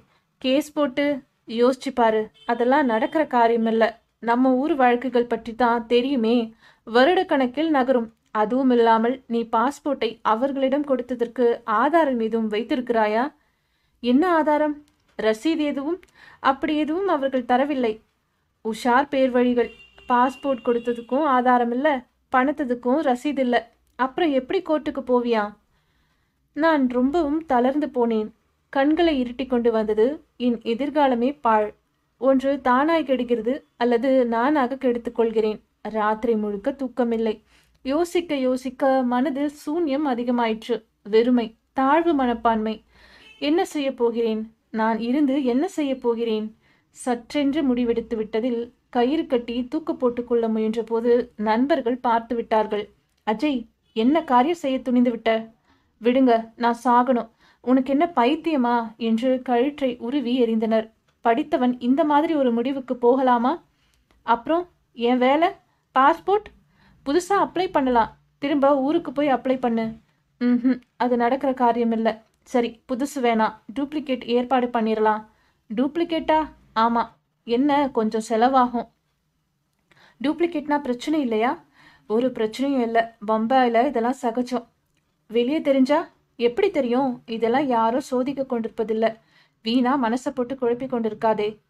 எனக்கு என்னவோ அவர்களின் வார்த்தையில் நம்பிக்கை ஏற்படவில்லை.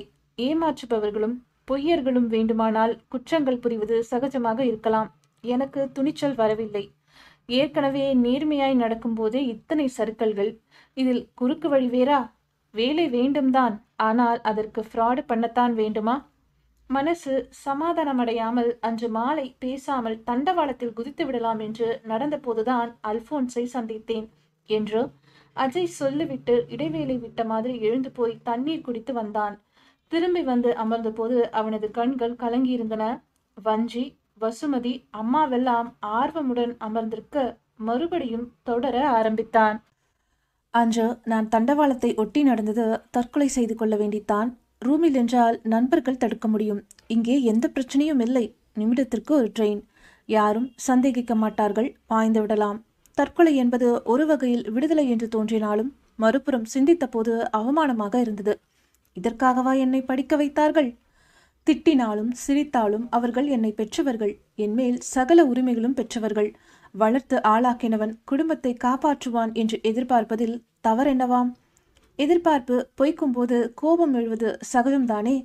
அப்புறம் வஞ்சு கொடுத்த பணம். இங்கே முன்பின் அறிமுகமில்லாமல் மனிதாபிமான அடிப்படையில் கொடுத்தவர்களின் பணம் அவற்றின் கதி. நான் வேண்டுமானால் பிரச்சனைக்கு பயந்து மாய்ந்து போகலாம். இவர்களின் பணத்தை யார் திருப்பித் தருவார்களாம்? மனமு வந்து உதவினர்களுக்கு இது நான் செய்யும் துரோகம் இல்லையா? குழப்பத்துடன் நடந்தபோது நன்றாக இருட்டு விட்டிருந்தது என் மனதிலும் இருட்டு. ரயில்கள் மட்டும் வெளிச்சத்துடன் ஓடிக்கொண்டிருந்தன. ஆள் அரவம் குறையட்டும் என்று சரளை கற்களில் இன்னும் கொஞ்சம் முன்னேறியத போதுதான். ஏதோ ஒன்று காலில் இடறிற்று. குனிந்து பார்த்தால் சடலம். அடிபட்டு முகம் சிதறி இரத்த திட்டுக்களுடன் அந்த கோரத்தை பார்த்ததும் கதிகலங்கி போனேன். தண்டவாளத்தில் விழுந்தால் என் நிலைமையும் இதுதானே? அந்த காட்சியை நினைத்து கூட பார்க்க முடியவில்லை. உடன் அதுவரை இருந்த துணிச்சல் கூட போயிற்று. செத்து போவதற்கு கூட துணிச்சல் போதவில்லை. இது யாரோ எவரோ எப்படி அடிபட்டான்? தற்கொலையா? இல்லை விபத்தா? உடலை புரட்டி பார்க்க முகம் அடையாளம் தெரியாமல் சிதைந்திருந்தது. மிக சமீபத்தில் தான் அடிபட்டது போல ரத்தத்தில் இன்னமும் சூடு. நான் எனக்காக அழுவதை விட அவனுக்காக அப்போது அதிகமாக அழுதேன். இவனுக்கு பின்னில் என்ன பிரச்சனைகளோ எத்தனை எதிர்பார்ப்புகளோ இவனை நம்பி எத்தனை ஜீவன்களோ. என்ன செய்யலாம்? போலீஸ்க்கு தெரிவிக்கலாமா? இது எந்த ஏரியா? அக்கம் பக்கம் பார்த்தேன் புரியவில்லை. எல்லாம் ஒரே போல ஹிந்தி விளம்பரங்கள். போர்டுகளில் ஸ்ரீதேவிகள் கஜோல்கள் எனக்கு இது தேவையா என்று தோன்றிற்று. போலீஸ் என்றாலே பயம் அலர்ஜி. இவனை பற்றி தகவல் ஏதும் கிடைக்காதா என்று பார்த்தபோது புல்வெளியில் கொஞ்சம் தள்ளி ஃபைல் ஒன்று சிதறி கிடந்தது. அதில் அவனது சர்டிபிகேட்கள் பாஸ்போர்ட். அத்துடன் துபாயில் கிடைத்திருந்த அவனது வேலை கடிதம் விசா டிக்கெட்டுகள். கடவுளே வேலை கிடைத்து பயணத்திற்கு தயாராக இருந்திருக்கிறான். அப்போ நிச்சயம் இவன் தற்கொலை செய்து கொண்டிருக்க முடியாது. விபத்துதான். விதி எப்படியெல்லாம் விளையாடுகிறது? வேலை இல்லாமல் சாகத் துடிப்பவன் பிழைத்துக் கொள்கிறான். வேலை கிடைத்து வாழப் போறவனுக்கு சாவு கோரம். சர்டிபிகேட்களை எடுத்துக்கொண்டு ரோட்டிற்கு வந்தேன். அவன் யாராக இருந்தாலும் சரி உரியவர்களுக்கு தெரிவித்தாக வேண்டும். அனாதையாய் காக்கை கொத்தப்படக்கூடாது. போலீஸ் ஸ்டேஷனை நோக்கி போன போது ரூம் நண்பர் எதிர்பட அவரிடம் விவரம் சொல்லி அழுதேன். அவர் எல்லாவற்றையும் கேட்டுக்கொண்டு இறந்தவன் உனக்கு வேண்டியவனா? என்றார். இல்லை முன்பின் தெரியாது. அப்புறம் ஏன் அழுகிறாய்? எனக்கு தெரியல கட்டுப்படுத்த முடியல. சரி சரி முகத்தை தொடச்சிக்கிட்டு என் கூட வா. எங்க? ரூமுக்கு. இத போலீஸ்ல உனக்கு என்ன பைத்தியமா? பேசாம வா சொல்றேன். ரூமிற்கு போகிற வரை அவர் எதுவும் பேசவில்லை. எனக்குள் குழப்பம் வருத்தம். ரூமில் வந்து டீ வரவழைத்து கொடுத்து அஜய் தெய்வம் உன்னை கைவிடலை என்று என்னை தட்டி கொடுத்தார். என்ன சொல்கிறீங்க இன்னுமா புரியல. உனக்கு துபாயில் வேலை கிடைச்சிருக்கு. நான் மலங்க மலங்க விழிக்க ஆமாம்பா இதோ என்று அந்த விசாவை காண்பித்தார். என் பாஸ்போர்ட் தான் காணாமல் போயிற்றே. அதனால் என்ன? இதோ இது இருக்கிறதே என்று அந்த பாஸ்போர்ட்டை எடுத்து நீட்டி இனி இதுதான் உன் பாஸ்போர்ட். அதில் அல்போன்ஸ் என்று போட்டிருக்கிறதே என்றேன் குழப்பத்துடன். இனி நீதான் அல்போன்ஸ். எப்படி? இப்படித்தான் என்று இந்த பாஸ்போர்ட்டில் ஒட்டப்பட்டிருந்த பிளாஸ்டிக் பேப்பரை கிழித்தார். ஐயோ என்ன செய்றீங்க? கொஞ்சம் சும்மா இரு. நான் பெயர வேண்டுமானால் மாற்றிக்கொள்ளலாம் ஆனால் உருவம் போட்டோ அதையும் மாற்றினால் போச்சு. எப்படி? கவலைப்படாத எல்லாத்துக்கும் வழி இருக்கு. தலைவெட்டி பாஸ்போர்ட் என்று கேள்விப்பட்டிருக்கிறாயா? இல்லை என்ன அது? சொல்கிறேன். இந்த மாதிரி ஒரிஜினல் பாஸ்போர்ட்டுகளில் உள்ள தலையை நீக்கிவிட்டு நமக்கு தேவைப்பட்டவரின் படத்தை பொருத்தி சீல் வைத்து தந்து விடுவார்கள். ஐயோ அது தவறு இல்லையா? தவறுதான். இங்கே தவறுகளுக்கா பஞ்சம்? யார் தவறு செய்யவில்லை? உனக்கு ஊரில் வேலை கிடைக்காதது தவறு. போலீஸ்காரன் போல வேஷமிட்டு எவனோ உன் பணத்தை அபகரித்தது தவறு. ஏஜென்சிக்காரன் உன் பாஸ்போர்ட்டை தொலைத்தது தவறு. அவற்றிற்கெல்லாம் யார் பொறுப்பு? யாரை போய் குறை சொல்ல முடியும்? அது மாதிரி லிஸ்டில் இதுவும் சேர்ந்து விட்டு போகட்டும். போலீஸ் பிடிக்காதா? ம் இது மாதிரி இங்க நிறைய நடக்கிறது. கொஞ்சம் கூட வித்தியாசம் தெரியாதபடி ஆள் மாறாட்டம் செய்யும் வித்தகர்கள் இங்கே இருக்கிறார்கள். யாராலும் கண்டுபிடிக்க முடியாது. ஏர்போர்ட்டிலும் சரி வெளியேயும் சரி பாஸ்போர்ட்டில் உள்ள போட்டோவையும் உன்னையும் ஒப்பிட்டு பார்ப்பார்கள். பாஸ்போர்ட் ஒரிஜினல் தானான்னு நம்பரை கம்ப்யூட்டரில் செக் பண்ணுவார்கள். விசா பாஸ்போர்ட் ஒப்பீடு. அவ்வளவுதான். பிரச்சனையே இருக்காது. நீங்க என்ன சொன்னாலும் சரி இதுக்கு நான் சம்மதிக்க மாட்டேன். அஜய் சொல்றத கேளு. உன் யோகம் பாரு. நீயும் மெஷினிஸ்ட் இவனும் இருவரும் ஏறக்குறைய ஒரே வயசு. மாதம் நாற்பதாயிரம் சம்பளம். வழிய வரும் ஸ்ரீதேவியை எட்டி உதைக்காத. டிக்கெட் கூட ரெடி இன்னும் நான்கு நாளில் நீ துபாய் கிளம்பி ஆகணும்.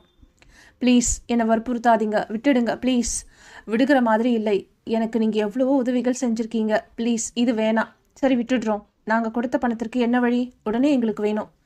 உடனே கேட்டீர்கள்னா நான் எங்கே போவேன்? வேறு எங்கேயும் போக வேணாம் துபாய்க்கு. பணத்திற்கு வேண்டி இப்படியெல்லாம் கூடவா செய்வார்கள்? அது பாவம் இல்லையா? இல்லை நீ இங்க எதுவும் செய்யலையே. அவன் செத்தான் நீ அனுபவிக்க போற. நல்ல வேளை இந்த பாஸ்போர்ட் உன் கையில் கிடைச்சிருக்கு. வேறு யார் கையிலாவது கிடைத்திருந்தா உடனே புரோக்கரிடம் நல்ல விலைக்கு விற்றிருப்பார்கள். அவன் அந்த ஏஜென்சியில் பேரம் பேசுவான். தகுந்த நபரை தேடி பிடித்து தலைவெட்டி துபாய்க்கு அனுப்புவான். வேறு யாரோ செய்வதை நீ செய்துவிட்டு போயே என்றுதான் சொல்கிறோம். ஏஜென்சிகள் இப்படி கூட செய்யுமா என்ன? ஏன் செய்யாது? ஒரு நபரை இன்டர்வியூ பண்ணி அனுப்பி வைத்தால் அவர்களுக்கு துபாய் கம்பெனி குறைந்தபட்சம் இருபத்தைந்தாயிரம் தருகிறது. அவன் அனுப்பவில்லை என்றால் அந்த பணம் அவர்களுக்கு நஷ்டம்தானே? அவர்களை பொறுத்தவரை அல்போன்ஸ் என்றாலும் அஜய் என்றாலும் ஒன்றுதான். என்ன சொல்கிறாய்? சரி நீங்கள் சொல்கிற மாதிரியே துபாய் போகிறேன் என வைத்துக் கொள்ளுங்கள்.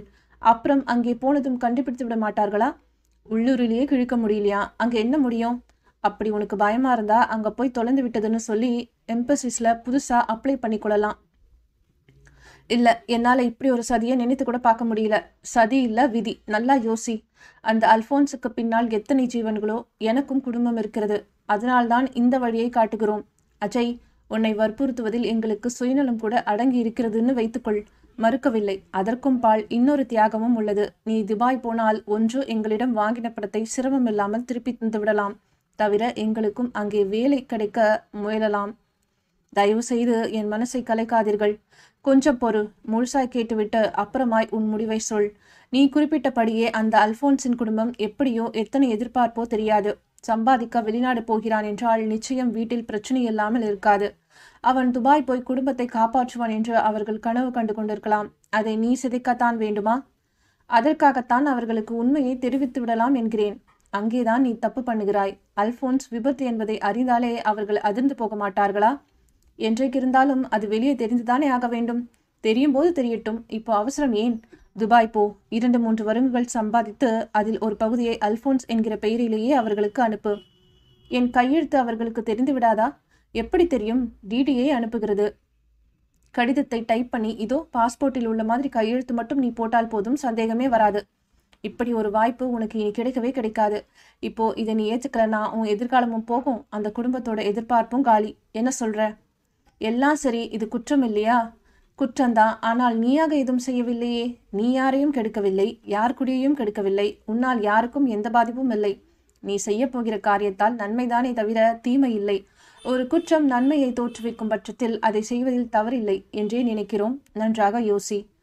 யோசித்ததில் அது சரி என்று தோன்றிற்று. துபாய் போனேன். முதற் காரியமாய் பாஸ்போர்ட்டில் இருந்த அட்ரஸிற்கு கடிதம் போட்டேன். பதிலில்லை. அப்புறம் அல்போன்ஸ் பெயரிலேயே அங்கிருந்தபடியே அக்கௌண்ட் ஓபன் பண்ணி மாதா மாதம் பணம் போட்டு வந்தேன். உங்களுக்கு வேண்டியதை அப்பாவின் பெயரில் அனுப்பி வைத்தேன். லீவிற்கு ஊருக்கு அல்போன்ஸின் குடும்பத்தை பார்க்க வேண்டி அவர்களின் வெண்ணாத்தூருக்கு போனேன். ஆனால் அங்கு யாரும் இல்லை. அந்த குடும்பம் ஊரை விட்டு போய்விட்டதாகவும் எங்கே போனார்கள்னு தெரியாதுன்னு சொன்னாங்க.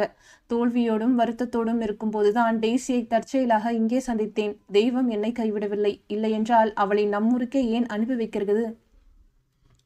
டெய்ஸியை பார்த்ததில் ஒரு பக்கம் சந்தோஷம் மறுபக்கம் குற்ற உணர்ச்சி. அவளை பார்க்கும் போதெல்லாம் எனக்கு அல்போன்ஸின் அந்த கோர முகம் ஞாபகத்திற்கு வந்து பாடாய்ப்படுத்துகிறது. செய்த பாவத்தை கழுவ முடியாது. ஆனால் பரிகாரம் செய்யலாமே. அல்போன்ஸ் உயிருடன் இருந்திருந்தால் அந்த குடும்பத்தை காப்பாற்ற மாட்டானா? டெய்ஸிக்கு பணம் கொடுத்து வேலை வாங்கி தந்திருக்க மாட்டானா? அதைத்தானே நானும் செய்தேன். முறைப்படி இது அவனுடைய பணம். அவன் போட்ட பிச்சை அதை அவளுக்கு கொடுத்தது தப்பா? சொல்லுங்கள். அஜய் கேட்க அதுவரை உருக்கத்துடன் கேட்டுக்கொண்டிருந்த வஞ்சியும் வசுவும் இல்லை இல்லை. அம்மா நீ சொல்லு. இல்லப்பா நிச்சயமா உன் பேர்ல எந்த தப்பும் இல்லை. நாங்க தான் உன்னை புரிஞ்சுக்காம ஏதேதோ பேசிவிட்டோம் எங்களை மன்னிச்சிடு. அண்ணா இவற்றையெல்லாம் நீ ஏன் மறைச்சு வைக்கணும்? முன்பே சொல்லி இருக்கலாமே வெளியே சொல்லக்கூடிய விஷயமா இது? இது என்ன சாதா குற்றமா? இதற்கு என்ன தண்டனை தெரியுமா? மாட்டினால் கசக்கி விடுவார்கள் கசக்கி. நான் நல்ல வேலை நிறைய சம்பாதிக்கிறேன் என்கிற கனவில் இருந்தீர்கள். சொன்னால் நீங்களும் வருத்தப்படுவீர்கள். வருத்தமும் உறுத்தலும் என்னுடையே போகட்டும் என்றுதான் எல்லாவற்றையும் புதைத்து வைத்தேன். தவிர டெய்ஸியின் வீட்டிற்கு தெரிந்தால் அண்ணன் இறந்து விட்டான் என்று வருந்துவார்கள். அண்ணன் உயிருடன் இருக்கிறான் என்றாவது ஒரு நாள் வருவான் என்கிற கனவில் இருப்பவர்களை ஏன் சிதைக்க வேண்டும்? விஷயத்தை தெரிவித்தால் ஒன்று அவர்கள் என் மேல் ஆவேசப்பட்டு போலீஸில் காட்டி கொடுத்து விட்டால் அது சிக்கல். அவமானம் நமக்கெல்லாம் அசிங்கம். அடுத்தது என் மேலுள்ள கோபத்தில் நான் செய்ய முன்வரும் உதவிகளை அவர்கள் ஏற்காமல் போகவும் கூடும். அதனால்தான் எல்லாவற்றையும் ஒரே அமுக். அப்புறம் பாம்பேயில் எப்படி கைது? அதுதான் சக்தி. தெய்வம் ஒன்று இருக்கிறதே. என்னதான் சமாதானம் சொன்னாலும் செய்த குற்றம் இல்லை என்று ஆகிவிடுமா என்ன? குற்றம் செய்தவன் தண்டனை அனுபவித்துதானே ஆகணும். பாம்பே ஏர்போர்ட்டில் அந்த தண்டனை எனக்கு கிடைத்தது. அன்று அந்த பிரபல கட்சித் தலைவர் படுகொலை. சென்னையில் விமானம் கேன்சல். பாம்பே போனேனே. அங்கே பயங்கர செக்கிங். கொலையாளிகள் யாரும் வெளிநாட்டுக்கு போய்விடக்கூடாதுன்னு உன்னிப்பா ஒவ்வொருத்தையும் பரிசோதித்துல எனது தலைவெட்டி பாஸ்போர்ட்டை போலீஸ்காரர் ஒருவர் கண்டுபிடித்து விட்டார் ஒருவர் ஏதோ கேட்க நான் ஏதோ சொல்ல லோக்கல் போலீஸிடம் ஒப்படைத்து விட்டார்கள். லோக்கல் போலீஸ்கள் என்னை அடித்து துன்புறுத்தி விசாரிக்க நான் மயக்கம் சுயநினைவு இழந்துவிட கேஸ் சார்ஜ் பண்ணாமல் சும்மானாலும் காவலில் வைத்திருந்தனர். பிறகுதான் நான் தகவல் கொடுத்தேன். எல்லாவற்றையும் கேட்டுக்கொண்டிருந்த வசுமதி அப்போ இனி நீ வெளிநாட்டுக்கு போக முடியாதான? என்றாள் வசனத்துடன். ஏன் முடியாது. துபாய் பாஸ்போர்ட் எடுக்கணும் வேலை தேடணும் மறுபடியும் பாம்பே. வேணா வேணா. அம்மா அவசரமாய் மறுத்தாள். இனி நீ வெளிநாட்டுக்கு போக வேணாம் எங்கள் கண்ணு முன்னாலேயே இங்கேயே ஏதாவது வேலை பார்த்தால் போதும். அத்தை அப்புறம் டவுனில் வீடு வாங்க முடியாது. வேணா வேணாம் இந்த வீடே போதும். பேராசை பெருநஷ்டம் அஜய் இந்த விஷயம் திரவியத்துக்கு தெரியுமா? இதுவரை ம்ஹும். எப்படியும் அவரிடம் சொல்லியே ஆக வேண்டும். இனியும் மறைக்கக்கூடாது. அப்போதான் ஏன் மனசு ஆறும் என்று சட்டையை மாட்டிக்கொண்டு அஜய் கிளம்பினான். திரவியம் வீடு. திரவியத்திடமும் தெய்சியிடமும் எல்லாவற்றையும் கொட்டி தீர்த்த பின்புதான் அஜய்க்கு அஸ்வாசமாயிற்று. அவன் பேசி முடித்ததும் அங்கே அமைதி டெய்ஸி அழ ஆரம்பித்தாள். திரவியம் சுவரையே வெறித்தபடி அமர்ந்திருந்தார். அவனுக்கு முள்ளின் மேல் அமர்ந்திருந்தது போல் இருந்தது. அவர்கள் திட்டுவார்கள் ஓங்கி அறைவார்கள் என்று எதிர்பார்த்தான். அப்படி செய்திருந்தால் கொஞ்சம் பிரணம் குறைந்திருக்கும். மாறாக அவர்களின் மௌனம் ரொம்பவே நெஞ்சை கிள்ளிற்று. சார் நான் பாவி. நான் செஞ்சது சாதாரண குற்றமில்ல. கிரிமினல். எனக்கு மன்னிப்பே கிடையாது. ஏமாற்று வேலை தெரியாமல் நீங்கள் சிரத்தி எடுத்து என்னை வெளியே கொண்டு வந்தீர்கள். சட்டத்தின் பிடியிலிருந்து நான் தப்பியிருக்கலாம். ஆனால் தர்ம நியாயம் என்று ஒன்று இருக்கிறதே மனசாட்சி குத்துகிறதே. என்னால் அந்த சித்திரவதையை தாங்க முடியவில்லை. என்னை மன்னிச்சிருங்க சார் என்று அஜய் திரவியத்தின் காலில் விழ அவர் அவனது தோளை பற்றி தூக்கி நிறுத்தி கர்த்தர் எப்போதும் உனக்கு துணை இருப்பார். உனக்கு நல்லதே நடக்கும்.